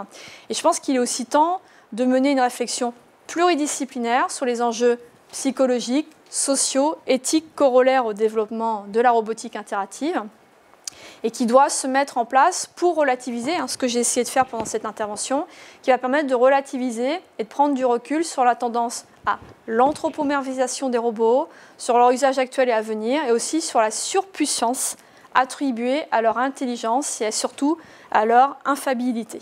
Donc communication, compréhension, éducation, formation, information et pédagogie sont aussi les maîtres mots de cette éthique de la robotique sociale. Et là, je fais écho particulier aux travaux de Laurence de Villers. Il faut définir tous ensemble euh, sa fonction et savoir l'utiliser pour bien vivre cette prochaine coévolution humain-robot. Et là, je reprends les propos de Laurence de Villers. Donc j'en ai terminé avec cette présentation. Je vous remercie une nouvelle fois pour votre attention. Je vous, ai aussi, euh, je vous propose aussi une, bibliographie. Donc là, je vous donne les, principaux ouvrages qui m'ont permis de, réaliser ce séminaire. Alors j'en ai d'autres, hein, parce que je viens de terminer un ouvrage euh, qui va être bientôt publié sur, les robots. Donc j'en ai sélectionné que, quelques-uns. Donc on a l'image des robots de Philippe Breton. On a les grands défis de la robotique euh, bah, de Pierre-Yves Oudeyer. On a le robot est-il l'avenir de l'homme de, Gélin et d'Olivier Guillem. Et puis aussi, on a Jean-Paul Lomont, La robotique, une récidive des. Donc, euh, ouvrage, je pense, euh, une bonne boîte à outils pour aborder la question de la robotique en général. Vous voulez faire une photo, vous pouvez, il hein, n'y a pas de problème si vous voulez euh, faire une photo. Et puis, quatre ouvrages un peu plus spécifiques Serge Tisson et Frédéric Tordo, Robot, nouveau partenaire de soins psychiques. Donc, j'ai participé à un chapitre dans cet ouvrage donc sur le robot Paro. On a aussi Serge Tisseron, Le jour où mon robot m'aimera vers l'empathie artificielle. Laurence de Villers, parce que ce qui est important aussi, c'est que la robotique est genrée. Et je reprends aussi les robots de Laurence de Villers. Il est bien que des femmes s'intéressent à la question de la robotique. Donc des robots et des hommes, et puis on aurait pu mettre des femmes, mythes, fantasmes et réalité. Et puis je termine aussi, bah, euh, tu l'as invité, un Nathalie euh, Nevet-Jean, traité de droit et d'éthique de la robotique civile que vous avez certainement rencontré. Et puis si ça vous intéresse, moi je travaille sur le robot Paro, donc c'est vrai que je ne l'ai pas dit euh, particulièrement en introduction, mais depuis deux ans je m'intéresse à l'usage du robot Paro en institution gériatrique, donc mes temps de loisirs, je vais euh, dans, à l'hôpital, euh, urgences, euh, enfin pas aux urgences, après c'est plus tard les urgences. je vais dans un hôpital où on, utilise Paro auprès de patients atteints de la maladie d'Alzheimer. Donc j'étudie pas les effets thérapeutiques parce que je suis pas docteur en médecine, hein, mais j'étudie l'impact du robot Paro sur l'organisation du travail. Qu'est-ce que ça change dans le travail du personnel soignant? Et donc j'ai participé à une émission sur France Culture, donc si ça vous intéresse, vous pouvez l'écouter.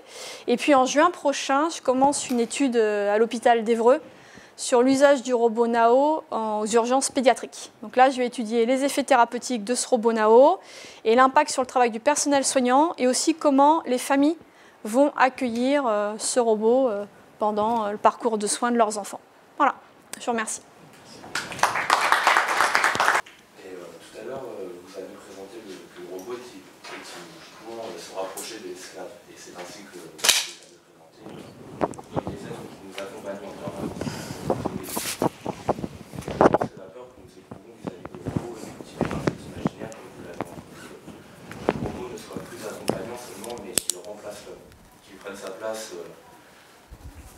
Je, pense à un statut euh, sur les réseaux sociaux qui invitait euh, les gens à boycotter un supermarché parce que celui-ci fonctionne automatiquement, c'est-à-dire euh, sans caissier ou sans caissière, mais plutôt avec des robots. comment comprenez-vous, expliquez-vous cette crainte? Et ma deuxième question, pour ce la première finalement, pensez-vous qu'aujourd'hui, à l'heure actuelle, le, robot peut dépasser l'homme, acquérir une surpuissance numérique qui lui permette de prendre sa place je pense à un exemple, il faudra que vous me disiez si c'est vrai ou pas, puisque c'est un humoriste qui en parle, je ne sais jamais comment ce qui est vrai ou pas, mais euh, il prenait, euh, enfin, il parlait de deux machines finalement, euh, des, machines intelligentes, artificielles, qui dialoguaient entre elles, et qui au bout d'un moment, à force de parler entre elles avec notre langage évidemment, se sont mises à inventer leur propre langage, qui est incompréhensible pour nous finalement. Voilà mes deux questions. Je ne sais pas si c'est vrai ou pas, hein, cette histoire. Ouais. Parabole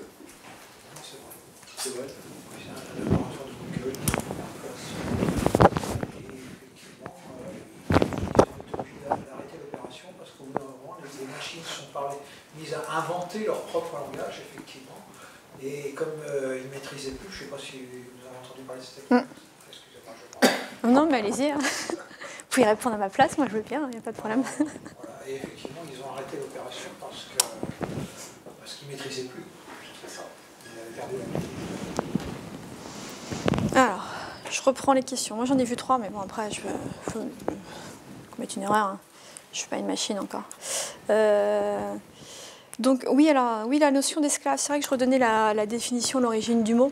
Moi, je ne vois pas le robot comme, comme un esclave. En fait, c'est la notion, c'est rabota, c'est l'origine étymologique. C'est vrai, qu'on a encore tendance peut-être à garder cette notion de voir peut-être le robot comme un esclave, etc.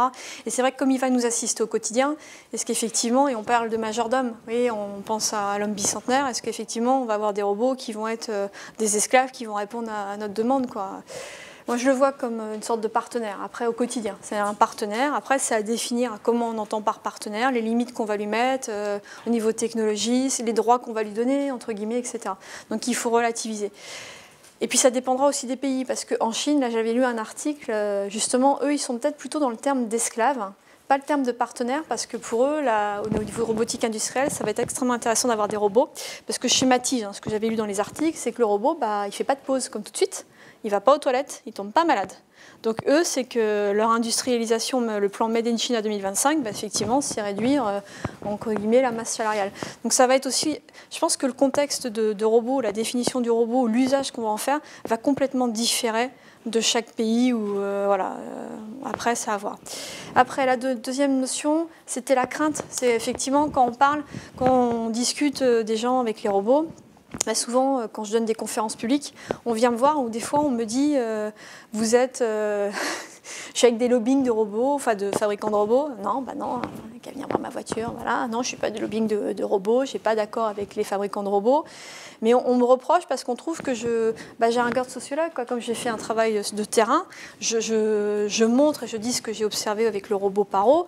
Le robot Paro, c'est un robot euh, stationnaire, c'est un bébé phoque, euh, il bouge pas, il prend pas le travail du personnel soignant. Donc effectivement, moi, je relativise sur les notions d'emploi et de travail. Et puis, il y a de nombreuses études qui ont été menées. Hein. Il y a l'Oxford, l'Union européenne, etc. Et même les chercheurs eux-mêmes, les grands spécialistes et les économistes ne sont pas d'accord. Il y en a qui annoncent la fin de certains emplois, donc ils ne sont pas tous d'accord. Donc, euh, oui, il y a des craintes. Je pense que ces craintes sont liées justement à l'imaginaire, à la culture, parce qu'on est tous inspirés par euh, Terminator, Astro Boy, euh, tous les robots que j'ai cités précédemment. Et puis, euh, il y a une étude, hein, je crois que c'est l'année dernière, il y a une étude sur l'acceptation sociale des robots par les Français. Et euh, ça s'améliore, il me semble. Après, je ne me souviens plus des chiffres. Je crois que c'est 45% ou 55% des Français seraient euh, d'accord pour accueillir un robot chez eux. Je, crois que c'est ça les chiffres, mais à vérifier. Hein. Mais en tout cas, ça va dans un sens que les Français seraient, commenceraient à être favorables à accueillir un robot. Après, je pense qu'il va falloir effectivement définir quel robot on veut. Est-ce que c'est un robot comme vous voyez, comme votre balai aspirateur que vous rechargez, vous fermez votre placard, vous sortez votre robot parce que vous en avez besoin. Est-ce que vous voulez que ce soit un partenaire Et puis avec qui vous allez laisser le robot Est-ce que vous allez laisser votre robot avec votre enfant en bas âge toute la journée Est-ce qu'il va être nourrice Est-ce qu'il va garder votre enfant Est-ce que le robot il va garder votre grand-mère ou votre grand-père parce qu'il commence à avoir des déficiences mentales et puis euh, il ne peut pas rester seul euh, euh, chez eux Enfin, vous voyez ce que je veux dire Donc il va y avoir aussi je pense qu'il y a c'est un sujet de discussion. On en discutait tout à l'heure euh, au, déjeuner avec Christian et Frédéric. On parle beaucoup d'intelligence artificielle. Déjà, euh, on n'arrive déjà pas à définir ce qu'est l'intelligence artificielle. Il y a le créateur de Siri qui vient d'écrire un livre. L'intelligence artificielle n'existe plus. Donc moi, je suis un peu perdue sur la notion d'intelligence artificielle. Il y a intelligence artificielle simple, intelligence artificielle complexe, on ne sait plus. Mais au lieu de peut-être se diriger trop vite dans, dans les sujets concernant l'IA, va peut-être déjà se poser la question sur les robots. Quels robots on veut accueillir? Euh, euh, ce qu'on veut en faire, quels sont les usages, etc. etc. Et puis le, la, deuxième, troisième question sur euh, les robots qui apprennent les uns avec les autres, qui ont écrit un langage, bah oui, ça peut être aussi l'évolution, parce qu'en fait, le robot, comme... je vais revenir, je prends des exemples concrets. Nao et Pepper, je vais prendre plutôt Nao, il a une intelligence artificielle qui s'appelle Zora. Et en fait, vous allez pouvoir aussi, on va vous donner un robot, il va y avoir un certain programme, il fait certaines, certaines choses, et vous allez apprendre au robot à faire d'autres choses. Donc effectivement, le robot, euh, il, va, il va apprendre de vous, il va apprendre certaines choses, donc le robot, il va évoluer. Je pense qu'effectivement, dans un avenir proche, bah, vous avez l'exemple, hein, peut-être une nouvelle langue. Après, euh, je ne sais pas. Euh, est-ce que votre question et votre crainte, c'est est-ce qu'ils vont créer eux-mêmes un écosystème numérique où on sera exclu en fait? Bah, Point d'interrogation. Je ne sais pas. Je ne suis pas futurologue, hein, mais je ne peux pas, je peux pas vous dire. Peut-être, peut-être pas. Il faudrait demander plutôt à des roboticiens. Là, vous avez invité Grégory Bonnet. Faudrait pas, cette année. Pas cette année. Bah, faudrait demander à, Vous avez un spécialiste de l'intelligence artificielle, un informaticien canet, Grégory Bonnet. Peut-être que dans, dans, ses conférences et tout, il y a peut-être la réponse, mais ouais, ouais, mais je ne peux pas, je peux pas, voilà, je peux pas vous répondre. je ne veux pas commettre d'erreur, quoi. Je ne sais pas. Peut-être. Faire une réponse de Normande.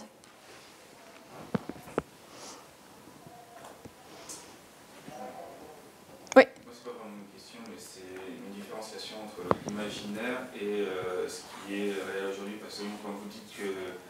Euh, vous parlez des différences entre les pays, mais aussi euh, à l'intérieur des pays. Par exemple, si je prends le cas du Japon, l'imaginaire par rapport à ce qui est créé aujourd'hui, c'est totalement différent. Mm. Je ne sais pas si on connaît Capitaine Femme par exemple, à l'intérieur, il y a bien un androïde avec un cerveau humain. Et, mm. et, je sais pas, je, y a l'imaginaire. après, il y a aussi l'histoire des mécas qui sont des exosquelettes. si on prend les Gundam, si on prend. rien que pour Rangers, par exemple, aussi aux, États-Unis, qui sont aussi au Japon de base il y a beaucoup de. l'imaginaire est différent selon, selon, les pays, mais euh, c'est aussi selon les. Le, le, peuple, enfin, la nation en elle-même. Je sais pas, c'est. Est-ce qu'on tend vers l'imaginaire euh, On essaie d'avoir de, enfin, de créer quelque chose en fonction de notre imaginaire ou est-ce qu'on essaie de le de, de s'en échapper Je pense qu'on est. Quand on voit quand même les conceptions des robots, quand on les étudie bien, quand on regarde Amérique du Nord et euh, Japon et Europe, on voit quand même qu'il y, a quand même des traces liées, je pense, à leur culture, etc. Quand vous voyez tous les robots, euh, bah, tous les robots au Japon, ils sont plutôt une forme, je vous ai dit, plutôt humanoïde. Hein. Je dirais plus vers des robots humanoïdes, hein, en présentation humaine. Euh, que, chez nous. Chez nous, en Europe, on, hésite. Hein. Vous voyez, Nao et Pepper, même si euh, euh, Nao, il est ressemble à un humain, il y a une corporalité humanoïde, c'est pas encore euh, comme, euh, comme au Japon. Je pense qu'il y a une hésitation. Je pense qu'on s'inspire quand même. On est imprégné par notre imaginaire. Au niveau de recherche, peut-être que les chercheurs sont imprégnés par leur imaginaire. Ils essaient peut-être d'en échapper, mais peut-être qu'inconsciemment, bah, ça ressort dans la représentation. Même dans la représentation euh, des, des robots, on va dire genrés. Euh, je vous ai dit, hein, les roboticiens, majoritairement, puis quand vous, voyez euh, dans les écoles en informatique, hein, moi j'ai enseigné en DUT informatique, hein. je vous dis une représentation, il y a 80 étudiants en première année informatique, 10 filles. J'enseigne au département information communication, 90 étudiants, 10 garçons je pense qu'au euh, niveau représentation genrée, on y est. Et quand vous allez dans les, écoles de robotique ou d'informatique, il y a très peu de femmes. Et ce que je veux vous montrer, alors c'est pas, euh, je suis pas féministe ou voilà, j'ai pas, non. Mais ce que je, ce qui m'intéresse, et je, ça rejoint les travaux de Laurence de Villers, je trouve que la question n'est pas assez abordée. C'est comme ce sont des hommes qui réfléchissent aux robots, euh, il y a quand même quelque chose de, de genré. Est-ce qu'on ne va pas avoir une représentation euh, liée aux imaginaires, aux fantasmes des hommes? Et d'ailleurs, on l'a avec les robots sexuels. Vous avez vu les robots sexuels C'est plus des poupées, euh, des objets, voilà, des sextoys. Là, c'est vraiment des objets. Alors maintenant, heureusement pour les femmes, enfin, heureusement entre guillemets, il y a le robot Henri, parce que voilà, il y a le robot pour les ah, évidemment, ils ont. Mais voilà. Mais il faut quand même savoir que le robot sexuel, il va être développé. Il va. Je pense que ça y est. J'ai pas regardé. J'ai pas encore fait une recherche sur ça. Mais il devait investir euh, les maisons closes aux Pays-Bas. Aux États-Unis, ils devaient aussi l'utiliser. Il y a des recherches qui ont été menées pour limiter tout ce qui est pédophilie, viol, agression sexuelle. Les robots seront euh, utilisés aussi notamment pour ça. Donc voilà, éviter les maladies sexuellement transmissibles. Il y a quand même un sujet euh, aussi intéressant à, avoir de ce côté-là. Mais euh, oui, moi, ce qui me pose, ce qui m'intéresse ces temps-ci, c'est la représentation du robot quelle image, quelle forme on va donner au robot, et puis euh, est-ce qu'il va être genré. Nao et Pepper, ils n'ont pas une voix euh, ni féminine ni masculine, ils ont une voix asexuée. C'est plutôt une voix d'enfant. Voilà, c'est neutre. Le robot Sophia, vous avez vu le robot Sophia? Là, vous avez vu dans l'épisode de la Silicon Valley, c'est un robot, euh, vous l'avez vu certainement sur le web, c'est une femme, voilà, elle n'a pas, de, pas de cheveux, on voit tous ces micro-mécanismes. Maintenant, je crois qu'elle a le bas du corps, il me semble, elle a, évolué. elle a un compte, alors ce qui est assez intéressant. Elle a, Twitter, elle a Facebook. Alors évidemment, c'est pas elle qui, qui tweet ni qui, euh, qui, envoie des billets via Facebook. Mais néanmoins, quand vous regardez ces pages, il y a des adolescents qui, lui, qui communiquent avec elle, et les adolescents, ils ont l'impression que ce robot leur parle. Donc ouais, c'est, tout est faux, quoi. tout est fabriqué, ils n'ont pas conscience. pourquoi je voulais vous parler du robot? Oui, donc ce robot, il est, il est genré, féminin. Et en Arabie Saoudite, il vient d'avoir un statut, d'avoir un droit que les femmes dans ce pays n'ont pas. Donc voilà, il y a toute une question sur la représentation euh, du robot et sur la question de la femme, euh, et d'intégrer aussi plus euh, des femmes dans la, dans la conception des robots. Je pense, ça, je pense que c'est assez, assez important. Je ne sais pas si j'ai répondu à votre question, parce que je crois que je suis allée encore plus loin. Mais oui, imaginez, on hésite. Je pense qu'on on est imprégné, on est imprégné par notre culture et on hésite. Mm.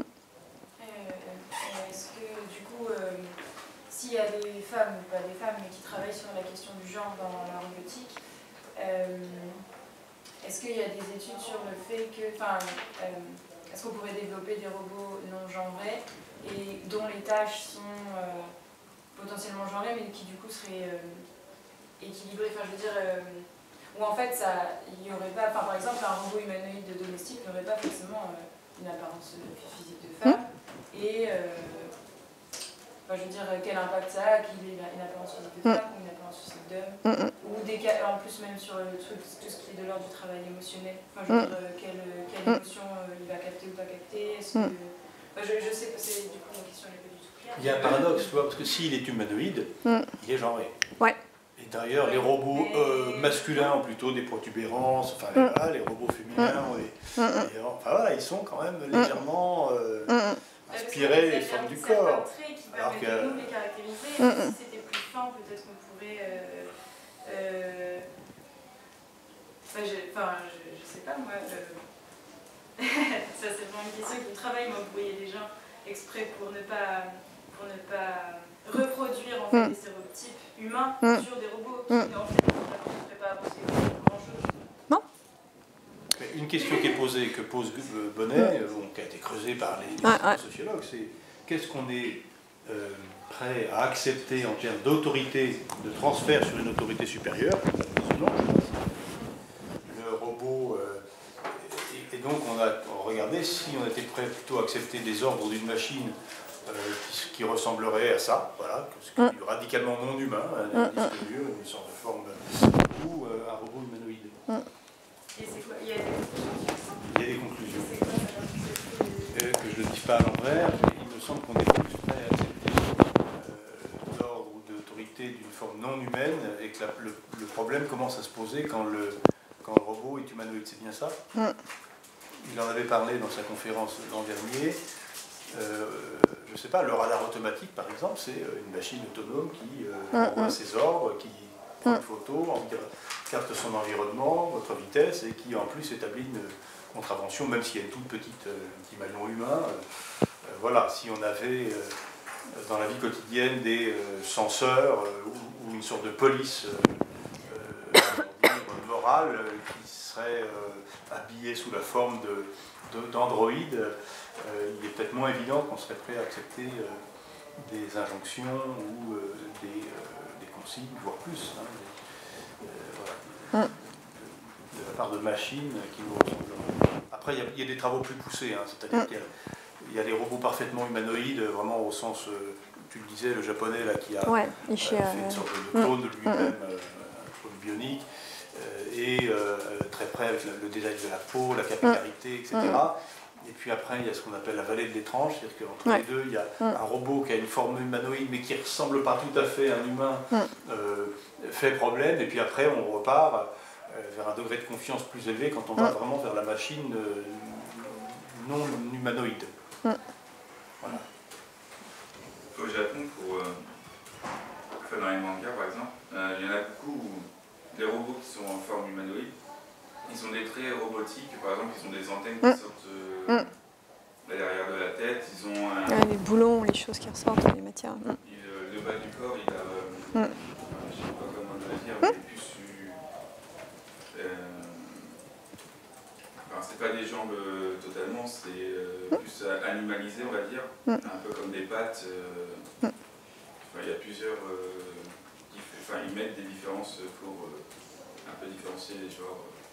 Oui, mais au Japon, il y a des travaux là-dessus. hein. Les, les Japonais ont inscrit euh, ça dans leur tradition animiste. Mm. C'est pour ça qu'ils ne sont pas Ouais. cartésiens du tout, au Mm. sens euh, dualisme euh, sujet-objet.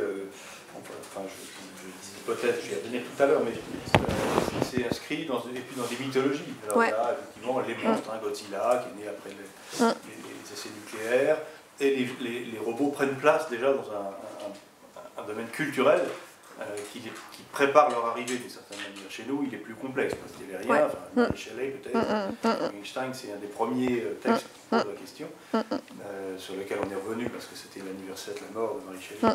Il y a eu beaucoup de travaux très intéressants là-dessus, Mm.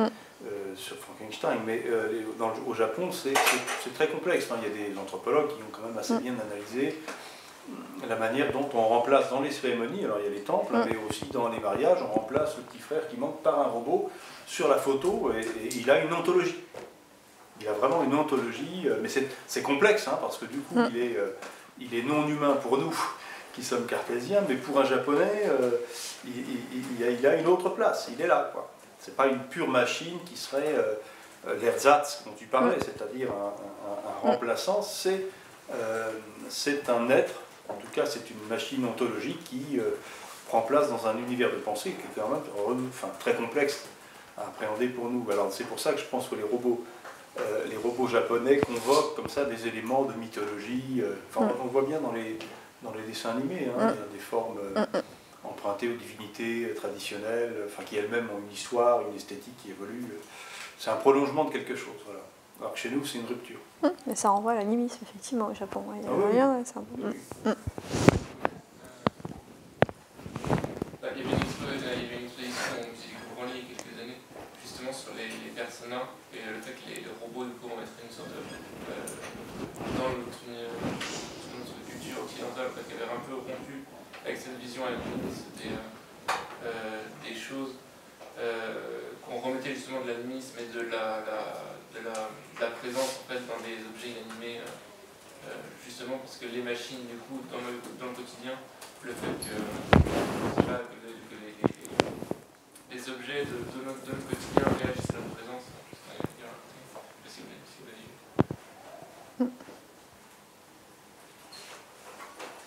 Moi, je voulais juste rebondir sur le.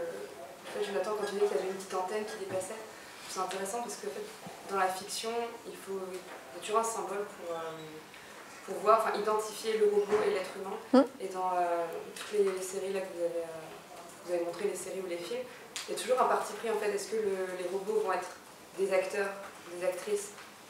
Même pas forcément grimés, sauf qu'on saura dans la narration que Mm. c'est pas, font pas partie des humains. Mm. Ou alors est-ce qu'on va jouer un peu sur la vallée de l'étrange, par exemple Real Human? C'est intéressant, c'est des vrais acteurs et actrices, mais avec un peu de maquillage qui Mm. va un peu figer leurs traits. Mm. Donc on les reconnaît, mais on a quand même ce malaise qui est travaillé par la série. Mais dans Westworld, par exemple, il n'y a Mm. pas ça. Non. Westworld, ils vont prendre des acteurs-actrices où on est- Mm. ils jouent complètement là-dessus. hein. Sauf quand on ouvre, quand on les voit, quand ils, Voilà, ils ouais. traitent, voilà, mais on sent. euh, ouais. Ouais. Et ce qui m'intéressait dans Westworld, c'est parce que, enfin, ce que j'ai trouvé super intéressant, c'est moi quand vous avez parlé des trois, euh, des trois enjeux éthiques majeurs. Mm. Parce que justement, pour ça, Westworld, je trouve, enfin, là, j'hésite à spoiler. Est-ce que Ouais. de spoiler Westworld un peu? Non. Parce qu'en fait, Un peu. un peu. C'est un peu- Ouais, puis il y a la deuxième saison, tout ça. Donc Ouais, c'est voilà. première saison ou deux? Non, c'est sur la fin. La première? Je vais le dire de façon très vague. Pas grave, la première. Fait, c'est au début, le, toute l'intrigue était centrée là-dessus, sur le fait que euh, la- les, les robots vont prendre conscience, Mm. qu'ils deviennent, etc., les sentiments, sources flou. C'est comme. On a l'impression que c'est l'enjeu majeur, et puis avec le démiurge qui va Mm. créer ses robots, ses enfants, et qui a un statut un peu spécial. Et en fait, quand la série avance, on se rend compte que le vrai enjeu n'est pas là en fait. Le vrai enjeu, c'est le parc en lui-même, parce que pour replacer un peu dans ce parc, c'est un peu construit comme un jeu vidéo, on va faire des quêtes, on va faire des aventures, et puis par exemple, il y a du meurtre, il y a de la violence. Ah non, je, peux, je vais vraiment spoiler. hein. Mm. Bah parce que la fin. euh, En fait, le vrai. euh, on, on se rend compte que derrière, derrière toutes ces histoires d'humanité ou non, le vrai objectif final du parc, c'est en fait que chaque robot humanoïde enregistre tous les faits et gestes des personnes dans le parc. Et c'est ça en fait le vrai enjeu, et puis tout tend vers là. Et euh, les, euh, les robots eux-mêmes sont. euh, Et parce que bien sûr, c'est des gens extrêmement riches, donc puissants, qui vont aller dans ce parc, donc c'est d'autant plus intéressant d'avoir Mm, mm. des moyens de Une chantage. industrie de contrôle, quoi. Voilà, c'est ça, et en fait, c'est c'est quelque chose d'un contrôle gigantesque dessus. Et le vrai risque, en fait, et là, c'est même pas les robots en eux-mêmes, c'est qui possède le parc, qui va en faire. Et là, c'est vraiment. Et là, ça devient intéressant. Mm, mm. Donc, euh, c'est vrai que je suis un. Mais ça revient sur les fabricants, parce que le robot, il, il appartient toujours à son fabricant, il sera toujours connecté à son fabricant. Et euh, ce qui est intéressant dans la création, bah, si on prend Frankenstein, enfin la, la créature, c'est un Oui. créateur, il l'a créé seul, isolé, etc. Il n'a La pas, créature n'a pas de nom. voilà. Alors il en a peur, il est effrayé quand il la voit, elle s'échappe et après elle va, elle va apprendre seule. hein. Parce que je l'ai relu la dernière, parce qu'avant j'avais lu en anglais la première fois et c'est vrai que c'était pas, c'était pas, pas à faire. Je l'ai relu en français. Et ce qui est assez intéressant, c'est quand il est euh, dans une forêt et qu'il va écouter euh, ce, couple, hein, enfin ce frère et cette sœur euh, italien, je crois. Il va apprendre, il va apprendre à lire, il va apprendre à écrire par, lui-même. Mais ce que je veux en venir, c'est qu'à chaque fois, quand on voit, quand il y a dans, les séries ou dans, il y a un créateur et il élève, enfin entre guillemets, il élève, il met au monde peut-être. hein. alors je sais pas, peut-être un risque d'anthropomorphisation que j'aime pas trop.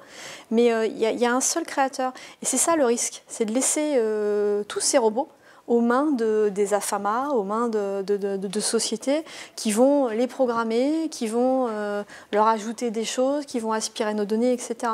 Et je pense que c'est ça aussi le travail pluridisciplinaire, c'est euh, avoir aussi un droit de regard, même nous en tant que, que citoyens, puis euh, de consommateurs, hein, maintenant on parle de consommateurs, d'avoir un, un retour sur ce qu'on veut comme robot et ne pas laisser euh, ces robots, on l'a dans Ex Machina, hein, un, un inventeur, on voit bien ce qu'il a fait avec ce robot.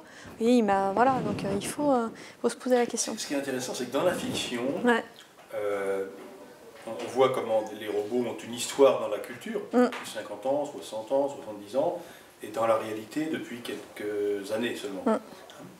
Hein. Euh, c'est normal, l'art a toujours précédé euh, Mm. dire, ce qu'il y a à dire Mm, mm. euh, dans tous les domaines. Mais euh, dans, les films, dans, dans les films en particulier, moi j'adore la science-fiction, Mm. c'est il y, a- il y a toujours ce créateur qui est là, comme une figure du père qui Oui. revendique. Alors Voilà. d'ailleurs c'est un père, terre, ah, On est dans des histoires très humaines finalement, Mm, mm. psychanalytiques, transposées dans la technique. la mythologie et dans la réalité, un robot, euh, il ne procède ni du père ni de la mère, puisqu'il est euh, par la technique.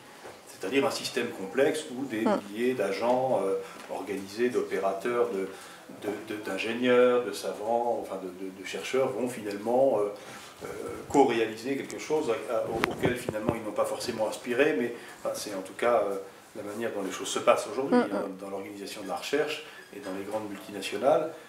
Des milliers de gens concourent à l'élaboration d'une chose ou d'un être comme ça qui peut apparaître. Donc le, le, euh, le- le robot, dans euh, la réalité aujourd'hui, euh, est, un pur, comment dire, une pure création de la technique. Mm.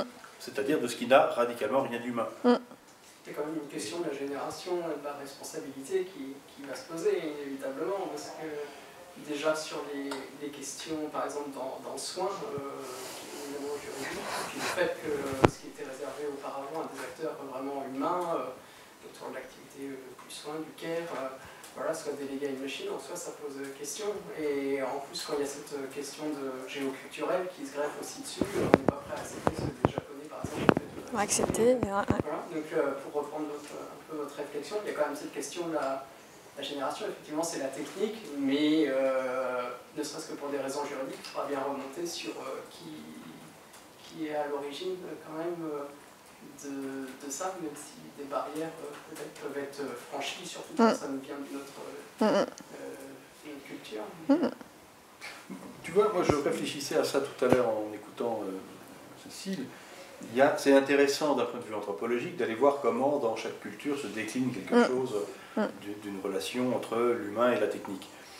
Parce que c'est ça dont il est question. hein, le, le- le rapport humanité-technique décliné dans une anthropologie particulière. Ouais. Mais en même temps, je pense qu'au au niveau anthropologique, il faut essayer de raisonner sur des invariantes, c'est-à-dire du méta.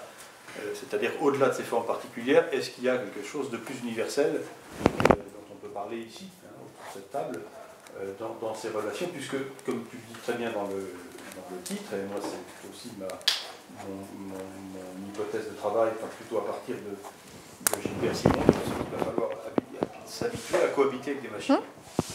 Voilà, vivre avec, Mm. S'adapter, vivre avec. Euh, rien aujourd'hui ne peut permettre d'imaginer qu'un moindre comité d'éthique ou qu'une moindre ligne de résistance pourrait empêcher ces choses-là d'arriver, ou ces êtres-là. Et donc il va falloir voilà, vivre avec, ça veut dire aussi réfléchir, ça veut dire faire ce qu'on fait ici et essayer d'anticiper autant que possible. Et à qui revient un peu cette tâche C'est aux sciences humaines. Hein, les, créateurs de robots, entre guillemets, euh, les ingénieurs, etc., sont un peu dépourvus, euh, enfin pour ce que j'en connais, mm. pas tous, mais beaucoup, mm, mm. sont, complètement démunis euh, de, de, capacité à raisonner sur... voilà, ils sont programmés d'une certaine manière pour faire, et ils le font très bien, mais qui va prendre en charge ces questions? Alors ça peut être la société, bien évidemment, mais où? Moi, sur les robots, aujourd'hui, j'ai pas tellement vu de lieu euh, public. Euh, voilà, ces questions-là, vraiment intimement, sont posées, sauf dans l'art, c'est-à-dire dans la fiction. Real Humans, je trouve, pose des, très belles questions. Euh, et c'est à nous de les reprendre. Mais un séminaire, en plus, on a deux séminaires sur le transhumanisme cette année. ici, c'est quelque chose d'assez nouveau. Et je, je, maintiens, c'est des choses tellement importantes, hein, puisque ça va quand même transformer notre rapport à la vie, à la mort, à, la santé. Euh, euh, tu as dit toi-même tout à l'heure, le robot, enfin, il y, a une, espèce de perfection. De quelle perfectibilité est-il question Est-ce que c'est euh, devenir plus humain ou plus performant et, enfin, Je vais y revenir tout à l'heure tranquillement, mais je crois que tout, tout est là dans ce rapport entre rationalité, disons, humaine et, et rationalité instrumentale. Je rebondis sur deux points. Je vais essayer de ne pas oublier le deuxième. Sur ce que tu dis sur les sciences humaines et sociales, effectivement, à part effectivement l'Institut euh, l'IEHR, je n'arrive jamais à prononcer, où on pose la question, quand tu lis le rapport euh, sur l'IAD écrit, dirigé par Cédric Villani, euh, moi, quand je l'ai fini, j'avais envie de lui écrire, je ne l'ai pas fait, mais j'avais envie de dire, mais où sont les sciences humaines et sociales? À quel moment il est venu voir euh, Cynthia Fleury, euh, Laurence de Villers, chez des femmes, euh, voilà, mais tu vois, à quel moment? Et en fait, ce sont des mathématiciens, des informaticiens, et ça reste dans un petit monde, un microcosme. Et quand tu discutes, ou quand tu arrives, quand tu es sciences humaines et sociales et que tu travailles sur les robots, bah, t'es pas, toi, t'es pas encore intégré. il y a 15 jours, on m'a fait une réflexion, on m'a dit, bah, nous, c'est la technique, puis vous là-bas, euh, tu vois, c'était un peu, euh, voilà, oh là, mais tu vois, euh, questions éthiques, mais en fait, les questions éthiques, c'est pas. je, tu vois, j'ai trouvé ça assez. Euh... vu comme un frein à l'innovation. Voilà. Donc, au fond, bah, tout ce qui est derrière, c'est-à-dire une industrie, des brevets, des ah fonds, des retours sur investissement, des actionnaires, parce que c'est la réalité du système technique, hein, il est, il est technico-économique, ah mais on peut néanmoins en parler. on peut en parler. Il faut, et, je pense qu'il faut que les sciences humaines et sociales s'y intéressent. C'est un, point important. Avant que, voilà, que ça parte, qu'on puisse plus maîtriser. C'est pas la peur. Hein. La peur, l'effacement de l'humain. dit non, c'est pas ça. C'est autre chose. C'est la cohabitation, comment on va cohabiter. Puis je rappelle que les robots, là, tous ceux que j'ai cités, Nao, Pepper et. Euh, et euh, les trois, euh, ce sera surtout destiné aux personnes âgées, parce que vieillissement de la population, c'est là les trois pays où, euh, où, les robots sont utilisés, c'est le pays où il y a le plus de, de, population âgée. Donc les robots, pour l'instant, ils restent en institution gériatrique, avec un cadre, avec du personnel soignant. Mais dans 10 ans, dans 5 ans peut-être, les robots, ils vont aller chez vos grands-parents chez vos parents pour s'occuper d'eux. Et là, ça pose d'autres questions. Comment on va les intégrer? Comment euh, on va s'occuper d'eux? Quelle forme on va leur donner? Est-ce que ça va être un robot humanoïde homme, femme? Est-ce que ça va être une boîte, un machin un chien, un chat? Enfin, vous voyez, il y a plein d'autres questions. ça, c'est peut-être euh, secondaire, mais c'est quelque chose qui va vraiment se développer. ce sont des plans, ce sont des actions qui, euh, sont menées. Et je trouve qu'on nous, on n'en parle pas. Peut-être qu'il faut le demander au débat public, le grand débat public, euh, rajouter sur le cahier de doléances ce point, mais euh, va peut-être faire trop pour eux ces temps-ci. ils m'ont l'air débordés, donc euh, on va pas trop, on va pas charger. Je faisais la réflexion en voyant notamment le tableau avec les différentes représentations Il peut y avoir des robots aujourd'hui dans le monde. je ne sais pas si le parallèle a été fait un peu dans la littérature entre la, conquête de l'espace un peu et les robots. Par exemple, je pense qu'il y, avait un personnage qui ressemblait assez éthique euh, qui avait une voix de robot, euh, mm. si voilà, c'était pas un robot à proprement parler, mais on est retrouve en tout cas dans le quart des étoiles, voilà, mm. Et finalement, c'est, on a parlé d'anthropomorphisation parallèlement à la conquête de l'espace, aussi le robot est devenu de plus en plus proche, surtout quand la science a pu lui donner des, des utilités, ou la conquête de Mars, ou voilà, mm. dans le domaine militaire pour les explosifs, enfin des choses très vertueuses finalement, même au niveau médical, euh, c'est plus de précision, c'est un, un, progrès, c'est un effet vertueux. Mais mais voilà, du coup, euh, à la fois la robot est devenue plus, plus sympathique et en même temps, du coup, il est plus difficile de s'en prémunir. euh, de manger. Ah ouais, il va devenir de plus en plus sympathique. Il va avoir des grands yeux, il va être souriant, puis il va, il va, il va faire ce que vous voulez. C'est l'empathie artificielle, hein, c'est ça le risque aussi. Je pense que c'est le risque le plus important. important hein. C'est euh, stimuler vos émotions, vous faire croire qu'il vous comprend, vous faire croire qu'il vous aime. hein. Voilà, il va aller dans votre sens et ça va vous conforter. euh, tout à l'heure, on est, Ouais. on est prisonnier, et ça c'est le caractère fétiche de la technique, c'est qu'on ne voit pas son côté systémique. Non. C'est-à-dire qu'on a, on a fait des populations de robots. Mm. Alors je pense à un, un- un exemple qu'on voit dans le film que je vous ai passé la semaine dernière, hein, Mathilda euh, en, en- en Australie, là, le robot qui est dans les maisons de retraite, Mm. euh, ils sont connectés. Et, et- et- et même s'ils n'étaient pas connectés, de toute façon, ils feraient système. Enfin, c'est un peu ce que dit Elu, là, de la technique. On, a- Mm. on a un rapport euh, personnalisé à sa voiture, mais en fait, on vit dans une société qui est construite par un système technicien qui a redéfini les normes de circulation, de vitesse, la forme des villes, etc.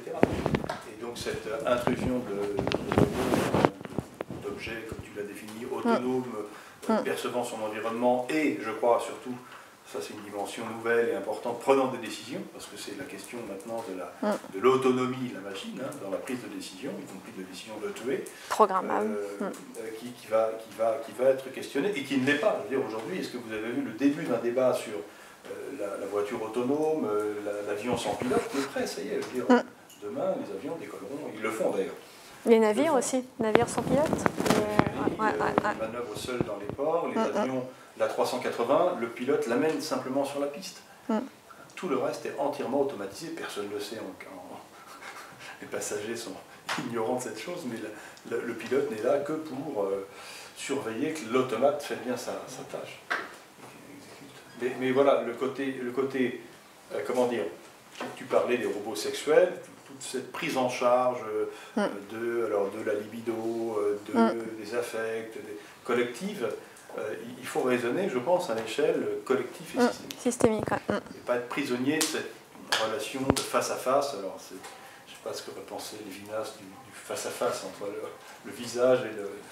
Mais les roboticiens travaillent là-dessus, hein, et de manière Mm. très très fine. Ouais, hein, très très sur fine, ouais. La forme de la bouche, les yeux, comme tu disais, ils sont Bah, très, il travaille très sur le travail de- d'Ekman, sur les micro-expressions, tout ça. Hein, sur les... Ça, c'est important. de- oui, de- à la fois euh, peu stupéfiant et en même temps Bah, euh, effrayant. Il ne faut pas qu'il soit hors sol, le robot. Il faut le remettre dans le contexte, il faut le mettre dans son environnement. Ce que tu dis, la systémique, quoi. C'est un- c'est une globalité. ouais. Mais Il y, a, bien vraiment, enfin, alors prise en charge ou manipulation, Mm. suivant de l'angle sous lequel on regarde les choses, Mm. de, de, de, de- de ce que nous sommes et de ce que nous ignorons que nous Mm. sommes, parce que tout, tout, tout ce que la biologie nous a révélé ces dernières années sur le, euh, le- la manière dont le corps est piloté par la chimie, par l'électricité, par, voilà, ce que nous prenons pour de l'empathie, ça peut être expliqué, rationalisé à l'extrême euh, aujourd'hui par les sciences dures. Ça C'est le projet du transhumanisme, hein, je veux dire, d'aboutir au post-humain, c'est-à-dire de percer tous ces mystères définitivement pour s'affranchir du biologique. du- Voilà, ça, c'est l'horizon euh, ultime. Mais, tout ce dont tu as parlé là euh, constitue déjà un, un- un pas encore en avant dans cette direction. quoi. Surtout les géminoïdes. là. Les- Les géminoïdes du chercheur japonais, on y est, là, c'est un peu du transhumanisme. hein, parce que ce qui est assez intéressant, et ce que de chercheurs, les chercheurs montrent, c'est que son robot, il vieillit pas, mais lui, il vieillit. Donc c'est assez intéressant de le voir à chaque fois maintenant à côté de son robot. quoi. C'est euh, peut-être un paramètre qu'il avait oublié. Pour rebondir un petit peu sur la forme des robots, justement, est-ce que vous pouvez parler un petit peu de votre euh, temps de loisir? Je pense Paro. Euh, pourquoi est-il comme ça, blanc? Pourquoi il est blanc? Bah, Je sais pas, si on a encore accès. euh, Ah non, non. Bah, sinon, j'ai non mais j'ai des photos parce que je l'ai je je pris en photo. Je vais vous montrer. Alors, euh, je cherche mon petit. euh, Oui, donc en fait, j'ai fait une. Ça fait de- depuis 2016. Je vous dis, moi, je voulais euh, travailler sur sur les robots, mais je voulais qu'ils soient, voilà, que je puisse les étudier. Je voulais pas faire un livre de science-fiction qu'on me qu'on me taxe puisque je suis sociologue infocom, qu'on me dise mais aller dans la spéculation, quoi. Donc, je voulais quelque chose de, de concret. Je voulais aller sur le terrain. Donc euh, j'ai choisi Paro. Pourquoi Paro? Mais En fait, je crois que c'est Paro qui m'a choisi. c'est que j'ai vu un reportage sur euh, la chaîne parlementaire. Euh, C'était ce bébé phoque. et voilà, ouais, mais c'est ça. Je l'ai vu et je me suis dit, ah, c'est drôle, ça a l'air drôlement bien. Donc j'ai écouté des reportages, il y avait des reportages sur France Culture, etc. Et, Et donc euh, voilà, donc c'est comme ça que je suis. je vais voir quelques photos. Ça c'est moi, c'est une photo que j'ai prise. et donc voilà, donc c'est comme ça que j'ai rencontré Paro, dans les hôpitaux. Et donc j'ai vu qu'il était surtout utilisé auprès des malades atteints de la maladie d'Alzheimer, et puis troubles apparentés, Parkinson, etc. Et donc c'était quoi la question? Je me souviens plus. Quelle il justement Oui. Cette Alors, ce que dit le chercheur hein, qui l'a créé, euh, c'est pas un chien, c'est pas un chat, parce que les personnes âgées pourraient avoir une association avec un chat ou un chien qui aurait pu les griffer ou mordre, voilà, donc ils pourraient y avoir une peur. Euh, et puis il ressemble presque aussi à un humain. Il y a aussi ce côté y et un peu, un peu humain. Ils ont agrandi les yeux, vous voyez, parce que les yeux du bébé phoque, ils sont pas aussi grands. Alors c'est le vrai, hein, c'est comme un bébé phoque harpé. Hein. Donc euh, c'est vraiment inspiré. Il a son, son, cri, c'est celui d'un bébé phoque euh, qui a été enregistré, etc. Il fait 57 cm, plus de 3 kg, il me semble. Qu'est-ce que je veux dire Alors il a une fourrure bactéricide, anti-allergie, etc. Peu salissante à voir parce que quand vous travaillez au contact justement euh, dans les services gériatriques, euh, euh, c'est pas ça. Hein. Dans le robot que j'ai étudié, il a attrapé la gale, par exemple. Donc le robot, il a été en quarantaine, il a été 40, 40 jours dans un sac plastique pour, pour limiter la gale, donc ça me fait rien. Quoi. Mais bon, mais après, ça crée des problèmes. Enfin bref. Donc, euh, donc voilà. Là, je vous, je vous, ai montré Paro une action, c'est que Paro, il cligne des yeux aussi. Il va s'adapter aussi. Si vous, le, si vous le connaissez bien, Paro, le personnel soignant, euh, quand vous rentrez dans la pièce, euh, si la personne qui s'occupe bien de Paro dit bonjour Paro, le robot il est là, je rentre de la pièce, il va relever la tête, il va me reconnaître, il va pousser un son, il va cligner des yeux, il va bouger les nageoires latérales, etc. etc. Donc, euh, donc, ça marche plutôt bien au niveau effet thérapeutique. Il y a eu plusieurs études, hein, japonaises, américaines, françaises, qui ont montré qu'il y avait euh, une recrudescence de la socialisation, souvenirs antérieurs, euh, communication avec les membres de la famille, communication avec les autres patients, avec le personnel soignant. Moi, ce que j'ai observé, c'est que c'est surtout son impact sur le, travail. Je ne voulais pas faire les effets thérapeutiques, parce que je lui dis, je ne suis pas docteur en médecine. J'ai lu quelques ouvrages sur la maladie d'Alzheimer, mais ce n'est pas mon domaine de recherche. Donc je voulais pas. Euh, puis ils ont d'autres moyens aussi pour faire leurs études euh, en, médecine, donc c'était pas, j'avais pas les, mêmes moyens. Donc moi, ce que j'ai voulu faire, c'est voir ce que ça changé au niveau du travail. Qu'est-ce que ça fait euh, d'introduire un, un bébé phoque? On l'appelle le bébé phoque interactif. Maintenant, la société qui le commercialise ne l'appelle pas le robot parce que justement, des fois, c'est pas personnel soignant, ça faisait un peu peur, ça dérangeait. Donc on l'appelle le bébé phoque interactif, mais c'est un robot. Hein. Euh, donc moi, je voulais voir ce qui changeait sur le travail. Qu'est-ce que ça a apporté? Donc concrètement, ce que j'ai trouvé, hein, je vais faire une petite... Alors là, oui, vous voyez, pour voir que c'est un robot. Je sais pas, tu vois pas, c'est dommage. Non, mais euh, Ça, c'est la... Vous voyez, comme le côté kawaii, hein, je vous dis, le côté kawaii, c'est mignon en japonais, donc on a agrandi les yeux, il est blanc, euh, c'est un bébé et tout. Effectivement, quand vous le montrez, que ce soit le personnel soignant en général, alors il y a des réactions. En général, ah, qu'il est mignon, qu'il est beau, etc. Il y a d'autres personnes qui ont très peur. Ça arrive, hein, euh, on peut, voilà, les personnes peuvent avoir peur hein, pour x, x raisons. Donc ça, c'est l'intérieur du robot. Donc vous voyez bien que c'est un robot, il a des mécanismes, a, tout le système euh, du robot. Euh, donc là, les résultats d'analyse, je, vais peut-être un peu plus complet. Pas comme le tomate turc. Voilà. Il n'y a pas un vrai phoque. Voilà, il n'y a pas un vrai phoque. Non, non, non. Bah, l'avantage, c'est pour le, il n'y a pas de, il y a que le soin, il n'y a pas de, voilà, c'est pas comme un animal. Il n'y a que l'entretien. Donc moi, ce que j'ai montré, oui, c'est que c'était un partenaire de soins pour le soignant. Il ne supprime pas le travail du soignant, il y aura toujours, puis il est stationnaire par haut. Hein. C'est un bébé phoque, euh, il ne bouge pas. Enfin, je veux dire, si, euh, pour bouger, il faut que vous le portiez, etc. Donc pour l'instant, il n'y a pas de, de risque sur le travail du personnel soignant. En France, euh, il y en a une centaine en Europe, je ne sais plus, je me souviens plus des chiffres, je, je les ai notés. En France, je ne me souviens plus. Euh, non, non, non, non, il y en a plus de 500, je crois, en, France, il me semble. J'ai vérifié, parce que là, j'ai plus les chiffres en, en tête. Voilà, pardon, 5000 paros dans 30 pays. Voilà, 5000 paros dans 30 pays et 70. On a 4, ouais, et 4, 4 oui, en a, on produit un paro euh, par jour sur la chaîne de production et plus de 70 en France. Voilà, 5000, ouais. Donc surtout utilisé dans les pays euh, population vieillissante. Ouais, 5000 par an, il est, euh, il est assez développé. En fait, c'est le robot le plus utilisé, euh, le plus développé, même plus que, que, Nao et Pepper. Donc c'est un indicateur intéressant temporel pour le personnel soignant aussi. Ça permet de recueillir aussi des informations sur le, personnel, sur le patient. Parce que le patient, quand alors les stades différents, la maladie d'Alzheimer, mais on le voit, hein, moi je l'ai constaté, il permet de recueillir des informations sur le passé, sur le moment actuel Il y avait une patiente anglaise quand j'étais euh, dans ce service, elle ne parlait pas français. Elle avait une douleur au pied, elle n'arrivait pas à exprimer, elle était très agitée, elle a montré Paro. Alors Paro, il n'a pas de pied, mais elle a montré, vous voyez, une nageoire, elle a montré son pied. Et là, le personnel soignant a pu comprendre qu'elle avait, elle avait un souci au pied. Euh, voilà, c'est peut-être basique, mais c'est voilà, aussi important dans le quotidien du personnel soignant. Donc euh, partenaire, euh, indicateur temporel, hein, que ce soit le passé, présent, voilà, sur médiation robotique simplifiée, effectivement, bah, ça crée de l'interaction. Ça va créer de l'interaction. alors même si c'est qu'une seconde, vous voyez, même si Paro, même des fois, on a l'impression que c'est euh, illusoire quand on va utiliser Paro, mais même si c'est une seconde, si la personne qui n'a pas parlé pendant deux jours, trois jours ou trois semaines ou un mois, même s'il y a un mot, bah, vous voyez, avec Paro, c'est déjà ça pour le personnel soignant et puis pour lui. Donc il y a des relations euh, robotiques simplifiées avec le personnel soignant, avec les autres patients, avec leur famille, etc. Donc euh, voilà, donc c'est plutôt positif. Après, j'ai aussi étudié les limites de Paro. Hein. Il y a aussi des risques. Hein. Je ne fais pas que je n'ai pas un lobby, je ne vends pas de paro, euh, voilà, parce qu'il coûte plus de 5000 euros. Je ne vends pas de paro, je ne fais pas de trafic noir avec paro, parce que j'aurais Brigitte Bardot sur le dos, mais non. C'est deux questions. Ouais. La première, c'est pourquoi c'est une phoque Ouais.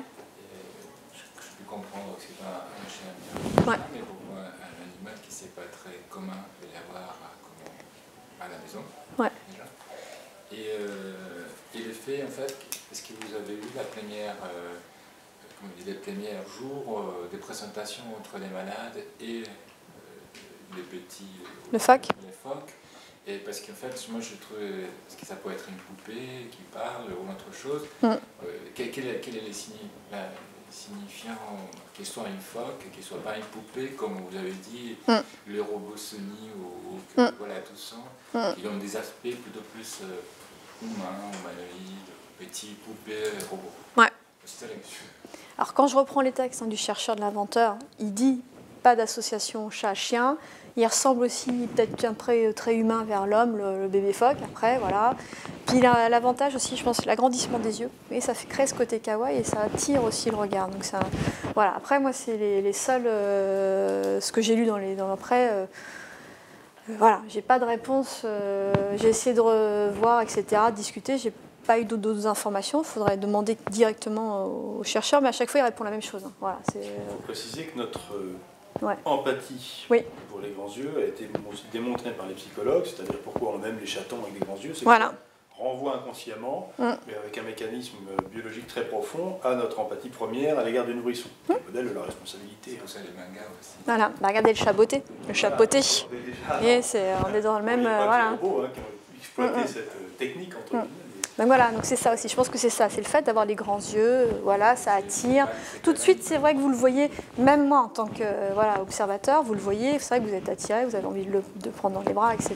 Donc euh, il y a aussi un côté attirant. Et puis votre euh, deuxième question? Si vous avez participé justement à la première présentation? Alors j'ai, alors j'ai pas assisté à la à la première présentation, parce qu'ils ont, ils ont accueilli le robot en mars 2016. J'ai commencé ma recherche en, en avril 2016, donc je n'ai pas assisté à la première présentation. Ouais. Alors ils étaient habitués, ils ont une mini formation donnée par la société qui commercialise Paro, donc c'était euh, 3-4 heures, donc ils présentent Paro, il explique euh, le fonctionnement de Paro, comment il faut l'entretenir, qu'il faut dire que c'est un robot pour la personne euh, qui fasse bien la distinction entre robot et... Euh, parce que souvent les patients ils le prennent pour un chat, un chien, parce qu'ils ne font pas non plus la différence, hein, ou un bébé, et des fois c'est un bébé, donc il faut bien dire que c'est un robot, le comment entretenir, euh, comment le présenter, etc., comment le tenir, comment le faire l'animation, est-ce que c'est une animation, est-ce qu'il va y avoir des effets thérapeutiques, donc il y a une formation. Néanmoins, euh, comme ça se passait pas, se passait pas bien avec le paro, il y avait encore des, résistances de la part du personnel soignant. Ils ont organisé en juillet 2016 une, une formation euh, enfin un groupe de discussion. Donc là, j'ai assisté à ce groupe de discussion et j'ai pu voir un petit peu comment on utilisait, enfin quelles étaient les consignes données par la neuropsychologue. Et je suis allée aussi à l'hôpital Brousse de Villejuif et là, j'ai assisté à la formation. Comment on formait, comment on était formé. En fait, j'ai été formée au robot, comment utiliser Paro auprès du personnel soignant. Donc là, voilà. Donc j'ai vu un petit peu euh, euh, comment on, bah, on, utilisait Paro concrètement. Enfin, je savais, puisque j'avais déjà vu dans euh, au quotidien. Mais là, j'avais vraiment la formation. J'avais aussi les consignes qui étaient données par la société qui commercialise Paro. Donc c'est aussi intéressant d'avoir, les, compléments. Et donc ils ont une formation et puis maintenant il y a des cours en ligne aussi qui complètent la formation Paro. Voilà. Mais donc il y a un protocole. Et il y a des risques hein, à Paro. Parce que c'est vrai que j'ai montré les côtés positifs, mais euh, euh, j'ai montré aussi les côtés euh, négatifs. Voilà, il peut confondre avec un, chien, un chat, pas voir que c'est un humain. le personnel soignant, enfin les patients, hein, ces d'Alzheimer, au niveau des stades, il y a, aussi de l'agressivité. Il hein. ne faut pas penser que travailler dans ces services, c'est tout de repos. parce que mes voilà, il y a de l'agressivité. Euh, on ne laisse pas paro seul parce que quelqu'un euh, peut se faire mal avec paro, on peut frapper quelqu'un avec paro. Voilà, donc euh, ça, peut être aussi. Il est lourd, hein, donc 2,5 kg. les risques aussi. Qu'est-ce que j'avais dit comme risque? Bah, Après, moi, ce que j'ai posé comme question aussi à la société qui commercialise, on en est à la huitième génération de paro depuis 2093, donc c'est qu'il évolue, hein, les mécanismes, etc. Euh, il ne parle pas pour l'instant, il émet juste des sons, mais je, me suis posé la question, c'est qu'à un moment donné, Paro, il sera certainement connecté. Il va capter des données. Toi, ça va être, je pense que ça va être l'évolution, enfin, je, suppose. Donc j'ai posé la question à la société, ils m'ont dit que pour le moment, il n'y avait, pas de, pas de projet de le connecter ou qu'il soit euh, rattaché à la société. Mais euh, voilà, donc il y a plein de choses, plein de limites. C'est-à-dire jusqu'où on peut confier notre destin à la technique. Là, il s'agit bien quand même de construire des machines pour prendre en charge euh, une parole de souffrance, une condition, enfin, voilà, c'est le troisième, quatrième âge. Euh, là où autrefois, et jusqu'à présent, des structures, alors d'abord euh, communautaires, familiales, etc., puis institutionnelles, et puis on est dans le façon, c'est du post-institutionnel. Hein, le, post-humain, c'est ça, c'est-à-dire d'aller vers quelque chose qui, se, qui s'affranchisse de tout ce qu'on a aujourd'hui pu euh, comment dire, créer pour penser l'idée d'une amélioration. Euh, mm, mm. euh, et, c'est quand même une question sans fin, parce qu'évidemment, c'est un processus, mais qui mérite d'être posé, je pense. Mm, et, j'ai l'impression qu'il n'y a pas, encore une fois, un lieu aujourd'hui où on, on pose. on pose cette interrogation. Je reviens à ce que vous avez dit, pourquoi pas une poupée? Vous l'avez dit, pourquoi pas une poupée? Avant, ils avaient un petit chien articulé. Vous savez, sur les marchés, les petits chiens à 5-10 euros, euh, un petit cat ben, ils avaient ça, ils avaient un chien articulé. Il y avait aussi, euh, alors le personnel soignant m'a dit, il y avait les mêmes effets. Hein. effectivement, ça peut aussi. Euh, voilà, donc après, voilà, ils ont vu un peu la différence au fil du temps en utilisant Paro. Mais effectivement, ça peut être euh, le, chat articulé. Et ce qui est assez intéressant aussi dans ce service, c'est qu'au début, il n'y avait pas d'animaux dans le service, d'animaux de vrai, hein, pas un robot.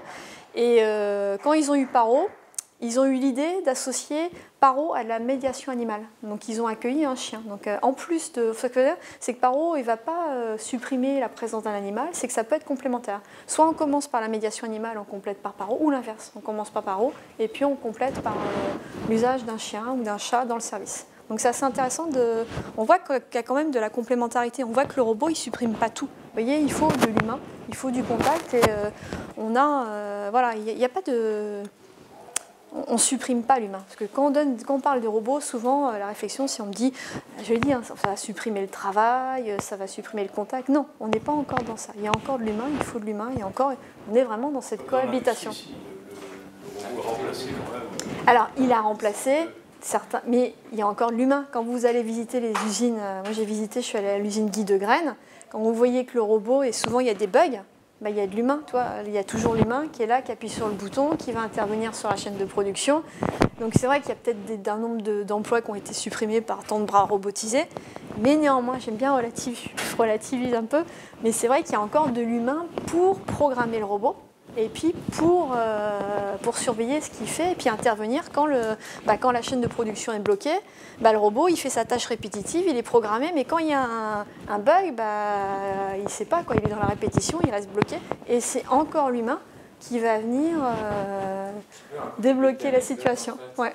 moi, je suis à à l'époque, dans les années 80, il commençait justement la, toutes les, les, les caisses automatiques pour les banques. Et donc on rentrait à la banque, normalement il y avait quelqu'un et on donnait euh, pour faire toutes les, toutes les transactions. Et un moment donné, il y avait la, machine.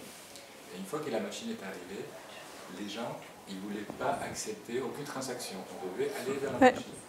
Donc c'était euh, bon, presque une imposition, mais de l'autre côté, quelques années plus tard, la personne qui était devant, ou de plusieurs personnes, il n'était plus. Parce que c'est la machine qui le faisait. Mm. C'est-à-dire que je, je voyais qu'ils aidaient aussi Mm. à le faire. C'est relâcher de quelque chose, un travail, Mm. pour lui donner l'autre que c'était automatisé, tout en tenant compte qu'à la fin, ce travail-là était supprimé et était occupé par la machine. Mm. Et Ces petites choses, ils ne se rendaient pas compte à cette période-là. Mm. C'est assumé par le- les gens qui promeuvent les, les technologies, Ouais. mais les caissières dans les supermarchés. Aujourd'hui, il y a la caisse automatique là, où tout le monde doit scanner ses articles. Elles sont 15 à côté, elles aident et elles participent au fond à leur propre liquidation. C'est évident, elles le savent. Puis le consommateur, il participe Le aussi. supermarché, dans 15 ans, c'est euh, c'est un drive euh, à l'intérieur. Bah, c'est ce qu'ils font aux États-Unis. hein. Je crois que c'est Walmart qui fait ça aux États-Unis, ou c'est Amazon. C'est Amazon, je sais plus, enfin un magasin, après, ils ont supprimé, euh, je sais plus lequel a fait ça. Mais c'est aussi aux citoyens de, des fois de résister à certaines choses. Aux consommateurs, de, à un moment donné, peut-être se poser la question. Et d'ailleurs, il y a un livre qui est extrêmement intéressant qui vient de paraître, c'est En attendant les robots d'Antonio Casilli, justement, qui parle du digital labor. Là, il faudrait l'inviter, parce qu'il parle justement de tout ce qu'on fait, tout ce qu'on nous demande de faire gratuitement. On nous demande de plus en plus de faire. On rentre des données, on fait du travail, on n'est pas payé, et en fait, on nourrit. Affama, je vous ai dit, hein, le terme, il faut l'étudier. Affama. Faut discuter ce terme. Mais voilà, on les nourrit. Et euh, on fait du digital labor sans s'en apercevoir. Et le livre est extrêmement intéressant. J'ai commencé à le lire. euh, Antonio Casilli, En attendant les robots. Petite anecdote, euh, quand je suis parti au Japon, quand vous des là-bas, bah, je suis rentré dans un supermarché et en fait j'avais mon petit caddie. J'ai pris mes fournitures et en fait il n'y avait pas du tout de caissier, j'ai juste posé Ouais, c'est automatique. Mm. et j'ai rien touché. Fin, j'ai juste à reprendre, j'avais déjà mon sac avec tous mes trucs, j'ai juste eu à payer et puis Mm. juste à mettre tous les oubliés dans, le, dans la petite machine et à partir. Mais on se dirige hein, vers ça, vers l'automatisation, payer avec les mobiles. Toutes nos cartes de fidélité, d'ailleurs, ça devrait être regroupé, je ne sais pas ce qui se passe là, mais on devrait plus avoir de carte de fidélité, ça doit être sur, les, euh, sur votre mobile, etc. Euh, ça va se développer de plus en plus au niveau utilisateur. Ouais, ouais, c'est automatique, ouais, c'est ça. ouais. Juste eu à poser le palier Mm. et attendre. Et je suis ressorti avec un. Ouais. Je, je Vous avez parlé des Ishiguro, justement. Les quoi Ishiguro. Oui. Et ces robots, une fois, je me souviens qu'il avait dit que ces robots les servent justement à comprendre la nature humaine. Ouais. Parce que maintenant, ils travaillent, ils sont des acteurs, ils font des films, Mm. ils sont dans l'art. Et donc ça, ça lui permet, lui, comme un laboratoire, de se comprendre justement ce qu'est un humain. C'est étrange. Mm. Ça, ça rentre dans ces AFAMA Ouais. qui récupèrent toutes les informations Mm. pour euh, étudier l'homme. Ouais, ça... Il a fait quand même plus comme une œuvre d'art pour provoquer. C'était, oui, Ah, c'est la provoque, une réflexion, euh, euh, justement, c'est qu'il fait intégrer ces, ces sous-humanoïdes, ces gémonoïdes, Mm. dans le monde de l'art, mais euh, euh, c'est le sert justement, comme on dit, à étudier les différentes façons comment pense, réagit, à travers ce contact de ces, de ces robots qui sont presque humains. Donc, euh, Mais c'est un, c'est un laboratoire Mm. en soi. En soi. Ça sert qu'à ça. Étudier les Mm. comportements de l'humain. J'ai une question peut-être un peu naïve, mais euh, si le petit chien euh, du marché à 15 euros fonctionne aussi avec les personnes âgées? Le petit chien Aibo Ouais, non, non, hein, vous avez dit que le, le Ah. paro euh, Mm. faisait à peu près le même office que. enfin, Mm, mm.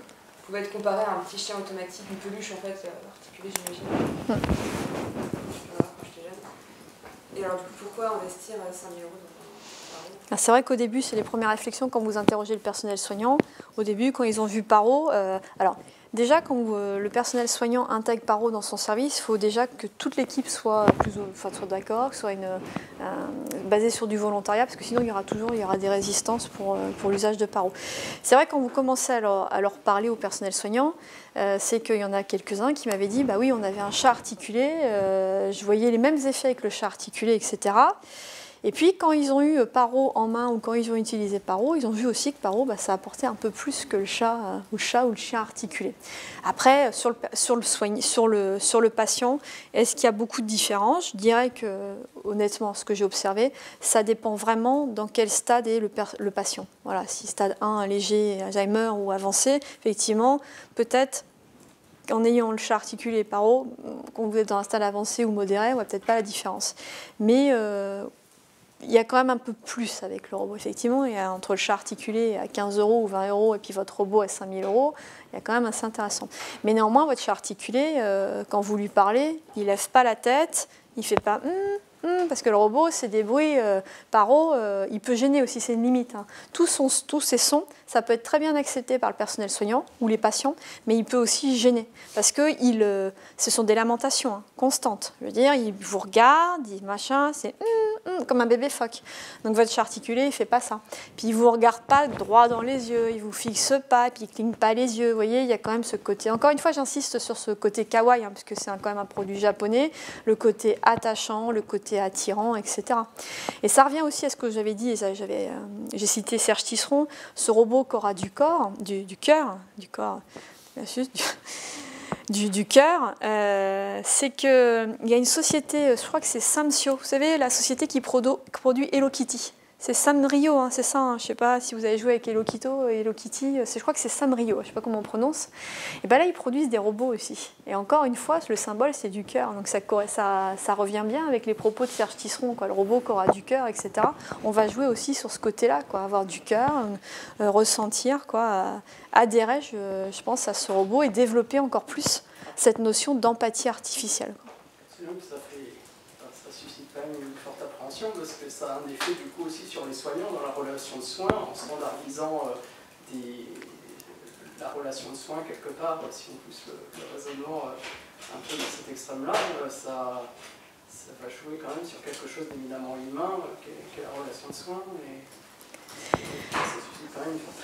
alors ce que j'ai vu, c'est que ça standardisait pas, et je reprends les, propos, pareil, d'intervenante, si tu pouvais l'inviter, c'est Cynthia Fleury qui a fait une chaire sur euh, les robots et la santé. Elle est extrêmement brillante et elle dit justement que ça humanise le soin, que le robot est en train d'humaniser le soin. Et je trouve ça extrêmement intéressant comme notion. Et c'est ce que j'ai constaté. Hein.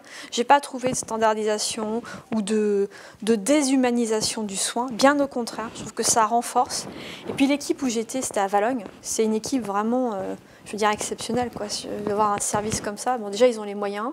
Ils ont le temps, c'est un service neuf, c'est basé sur du volontariat. Toute l'équipe qui travaille, ils ont été volontaires pour travailler dans ce service.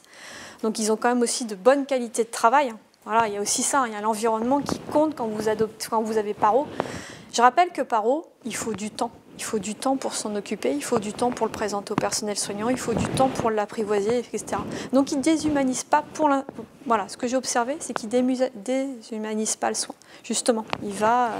Euh, Déshumaniser, ça sous-tendrait qu'on ait une conception substantielle de l'humain, ce qui n'est pas évident. Non, ouais. Euh, moi, il me semble qu'il fallait plus questionner mm. la manière dont euh, cette cohabitation peut aller vers une collaboration oui. humain-machine la, question que je me posais, c'est quand même à quel type d'humanité, mais pas d'humanité substantielle, au sens, mm. voilà, l'humain c'est figé, comme chez Heidegger, mm. une ontologie comme ça, euh, lourde, continentale, mais peut-être plus faite dans la relation, mais qui se définit en permanence, mais néanmoins, qui nous distingue euh, de la technique, qui est la recherche de l'efficience, de l'efficacité maximum. Donc ce qui nous caractérise, c'est quand même de tendre vers un autre euh, absolu ou d'autres horizons.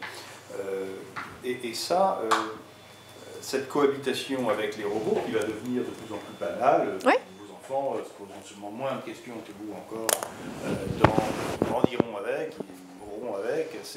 Je me disais à quel, euh, type de, relation humain-machine, et, on parlait l'autre jour de l'abolition de la frontière entre l'organique et l'inorganique, entre la machine et l'humain, ça fait partie des, enjeux en quelque sorte du, transhumanisme ce à quoi on donne le nom de transhumanisme, hein, qui, qui n'est pas que celui représenté par les, les, représentants officiels du transhumanisme, hein, qui se réalise partout, qui est une mutation euh, de l'humanité, qui d'ailleurs qui traverse toutes les cultures pour le coup.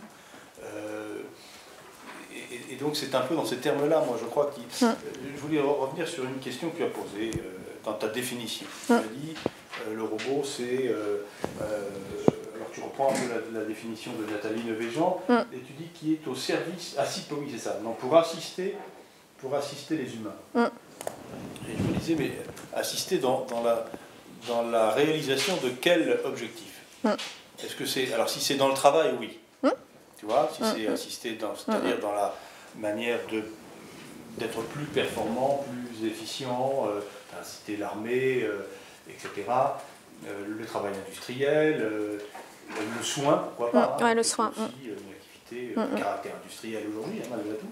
Euh, après, euh, est-ce que dans d'autres domaines de l'existence, euh, est-ce qu'on a bien affaire à un robot qui se mettrait au service, tu vois, de, Mm. de- de- de l'humain? Je ne sais pas. C'est-à-dire, pour tout ce qui ne relève pas du domaine technique, Pas pour le dire technique. autrement, Mm. c'est-à-dire de la recherche de l'efficacité maximum, travail, de euh, la, la- la participation ou l'introduction du robot me semble être plus problématique. Moi, je pensais par exemple à l'éducation, on pourrait supposer demain une société où les Par parents travaillant pour se libérer du temps euh, laissent un robot à domicile pour les enfants avec des interactions qui pourraient causer problème. Bah, Aujourd'hui, il existe des robots en Corée du Sud particulièrement éducatifs, mais qui, ont, qui renvoient à une conception complètement euh, de- de- d'ingénieur de l'éducation. C'est-à-dire qu'il n'a rien à voir avec l'éducation au fond, ce que diraient les psychanalystes, les psychiatres, etc. Mm, mm. Hein, C'est-à-dire en gros de, de- de- de- de faire répéter, d'accompagner, de remplir une boîte noire, enfin, voilà, une conception comme ça très, très mécanique. Euh, si éduquer, c'est aussi euh, humaniser, hein, euh, socialiser. euh, alors les robots peuvent nous socialiser à la- à la- au fait qu'on va devoir apprendre à vivre avec. Hein, C'est-à-dire en fait coloniser un petit peu notre univers et apparaître, s'imposer. Mais euh, il me semble que là, il y a des questions qui, sont, euh, qui restent quand même relativement à penser. Sont tu à penser. Mm, Tu as dit assister, je me suis dit, mais au fond, euh, Mm, mm. dans, dans quelle tâche? Dans quelle tâche ouais. je, je rejoins un petit peu, euh, puis je vous avez dit pour le personnel soignant, il y, a, il y a une étude qui a été menée, c'est à l'hôpital du Mans. Là, ils vont travailler sur euh, l'usage de paro pour limiter les risques psychosociaux auprès du personnel soignant. Et d'ailleurs, je l'ai constaté dans le service où je suis, c'est que bah, c'est très difficile. hein. Il y a des décès, il y a de l'agressivité, voilà, c'est euh, tout ce qui se passe dans, le service. Et euh, j'ai vu où il y avait une, aide-soignante il y avait eu un décès, voilà, une patiente qui, était décédée, elle était très affectée par, ce décès, et elle m'a expliqué qu'elle s'était enfermée dans une pièce avec Parou, pour justement avoir bah, oui, euh, ce contact, cette relation, euh, voilà, le, prendre pour avoir un câlin, quoi. ça lui a fait du bien. Et euh, l'équipe du Mans travaille justement sur utiliser Paro, plus au- au- auprès des patients, mais auprès des personnels soignants pour limiter les risques psychosociaux qui sont importants dans ces services quand on s'occupe de personnes âgées. Donc vous voyez, c'est une piste aussi, c'est une piste sur le travail qui est assez intéressante à mener. Quoi. Oui, assister, comment tu l'as dit, assister au travail, le soin, assister aussi l'éducation euh, industrielle aussi dans la cobotique. Oui, il faut, il faut je pense, euh, cadrer, euh, définir ce qu'on veut comme robot, quel usage, quelle fonction, quelle forme, quel droit, est-ce qu'on lui donne une personnalité juridique? Enfin, vous voyez, il y a plein de questions qui, voilà, qui, sont, qui sont importantes et qui- qu'il faut se poser. Quoi. Non, mais c'est juste pour euh, Je pense qu'il faut, il faut préciser, assister dans ce qui relève de ce qu'on appelle le travail, c'est-à-dire l'effectuation d'un certain nombre de tâches. qui, Ouais. euh, enfin, c'est la question de la finalité, voilà. D'accord. Si mon, mon- mon activité relève d'une quête spirituelle, d'une recherche d'absolu, euh, de- voilà, d'une recherche qui va dans le domaine de l'art, de la sensibilité, euh, je ne sais pas dans quelle mesure euh, le- la robotique telle qu'elle se présente aujourd'hui et disons bon, dans les temps à venir, un jour on fera la machine, euh, le golem parfait, là, Le pour l'instant on n'est pas là. Euh, mais c'est une hypothèse de travail pour le séminaire euh, transhumaniste. hein, euh, euh, mais pour l'instant, voilà, je, je pense qu'il faut euh, Réfléchir. Mm. pointer cette question parce qu'elle est, elle est quand même essentielle en termes d'éthique. mm. Ouais, en termes d'éthique. La question se posera de toute façon, elle se pose déjà, de savoir s'il faut, faut limiter la capacité des machines à euh, penser, agir à notre place, enfin, aller s'opposer avec les drones. hein. Les drones de l'armée américaine n'est pas capable de, de prendre la décision de. Mm. Euh, voilà. Les voitures autonomes Bah oui. une question éthique aujourd'hui, Le trolley, ouais. Mm, mm. plus limitée quand même. Enfin, Mm. elle est censée quand même être capable de prendre la décision de tuer le, le- le piéton pour sauver le passager. Mm. Voilà, l'inverse. ouais, ouais, mm. C'est la question du trolley.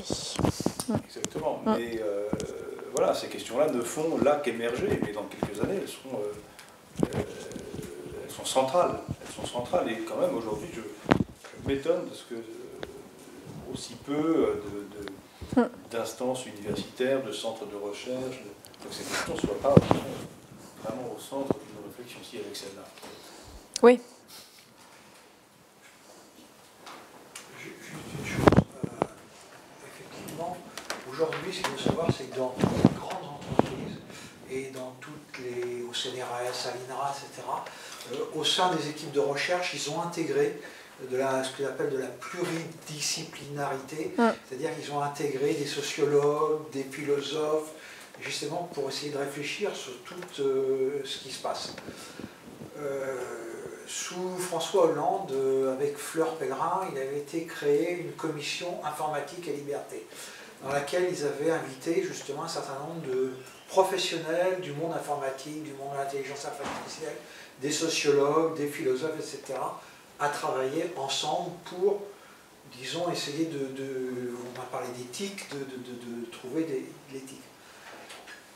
Je, je connaissais, enfin je connais toujours Bernard Stiegler qui Oui. participait à cette commission en tant que philosophe. Donc c'est un, un philosophe spécialisé du monde des, des nouvelles technologies. Du numérique. Le problème, il disait, c'est que bon, on se réunissait une fois par mois.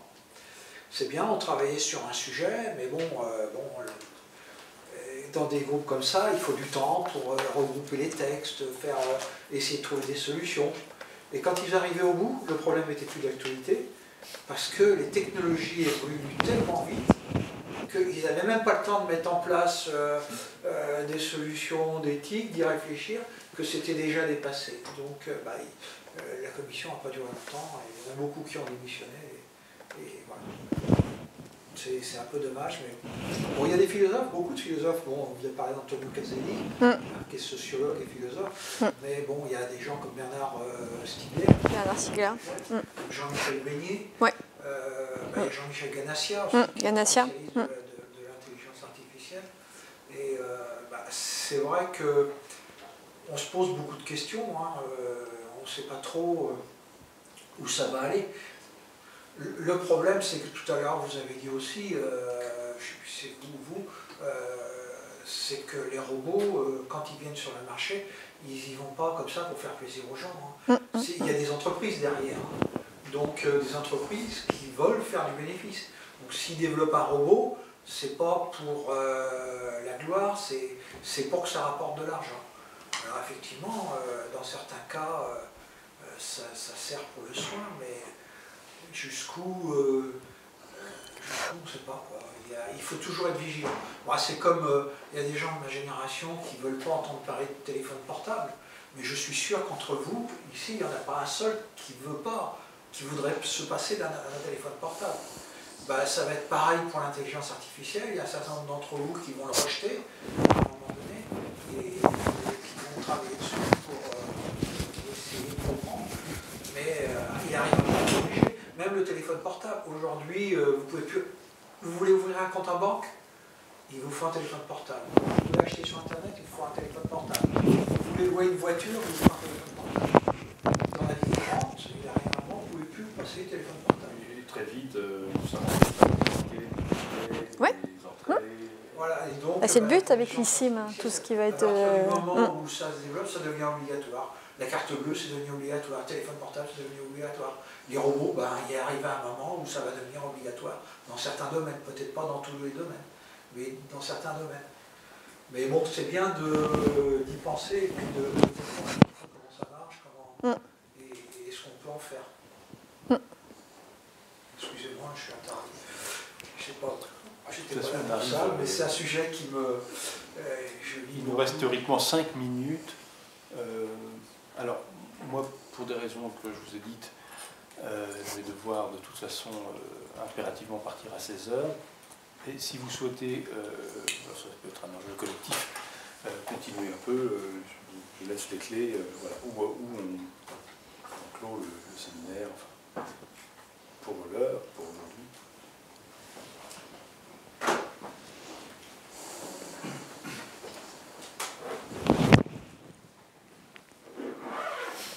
Le par rapport à ce que vous avez raconté dans un film, les, les, les soldats américains qui Oui. sont partis avec des robots Mm. et qui en fait ils sont éprouvés à Des sentiments. dans des sentiments Mm, mm. d'empathie qui démontrent si- s'ils meurent ou si- s'ils sont Ouais. malades, Mm, d'y avoir euh, des robots dans l'état qu'ils qu'ils soient. Mm, mm. S'ils sont, sont un peu détruits, mais qu'ils soient avec. Mm, mm. Donc c'est incroyable, c'est Mm. cet attachement. Ouais, cet attachement. Comme, comme vous vous avez raconté, Mm. C'est les soldats américains Ouais. qui sont- demandent. Oui, parce qu'ils sont un petit euh, robot. Comme des, robots qui sont cassés ou abîmés ou qui sont en train de mourir ou rendre l'âme, enfin je sais pas comment, parce que là je l'anthropomorphise, voilà, ils, euh, ils sont tristes, ils sont attachés, vois. Ils veulent même aller le sauver, tu vois, le robot. Donc il y a vraiment de l'empathie artificielle. Et il y a eu un robot, je sais pas si vous avez suivi un robot qui était autostoppeur il y a deux ans. Je sais pas si vous avez suivi, il y a un robot qui faisait du autostop et chaque, euh, chaque personne à travers l'Europe le prenait. Et le robot, il a été maltraité. Il a été bah, victime, hein, comme personne qui fait l'autostop, hein, malheureusement. Même le robot il n'échappe pas. Et euh, bah, justement, les gens qui suivaient étaient tristes parce que ce robot a été maltraité. Il y a une expérience aussi sur Internet où des chercheurs, je me souviens plus leur nom, ils ont fait une expérience où ils montrent des vidéos, où je crois que c'est un robot dinosaure qui est très connu. Il est maltraité aussi. Et là, il y a les réactions. Ah, euh, et c'est extrêmement intéressant euh, de voir euh, euh, ce qui se passe. Ouais. Ouais. On entretient des rapports éminemment. euh, Voilà. Et je reviens sur. Vous avez dit tout à l'heure sur, sur l'acceptation des robots, quand je disais que les Français seraient prêts à accepter des robots, je crois qu'ils sont 55% ou 45%. Néanmoins, ils ne sont pas prêts à laisser leurs enfants aux mains de robots pour le babysitting, l'éducation. Voilà. On entretient des rapports éminemment euh, sacrés et humains avec la technique. Mm, Lisez le texte de Jacques Ellul. Jacques Ellul, dans les bluffs, Les nouveaux possédés. nouveau possédé. Il y a un chapitre sur le sacré technique. Et, parce que il n'y a pas que les robots. Je veux dire, on peut Non. investir effectivement euh, son automobile, n'importe quel objet. Bah, le mobile surtout. hein. hein, dans- surtout plus la société de consommation. Puis le mobile. hein. Moi, au début, quand j'ai enseigné, j'avais des étudiants qui dormaient avec leur mobile sous leur oreiller.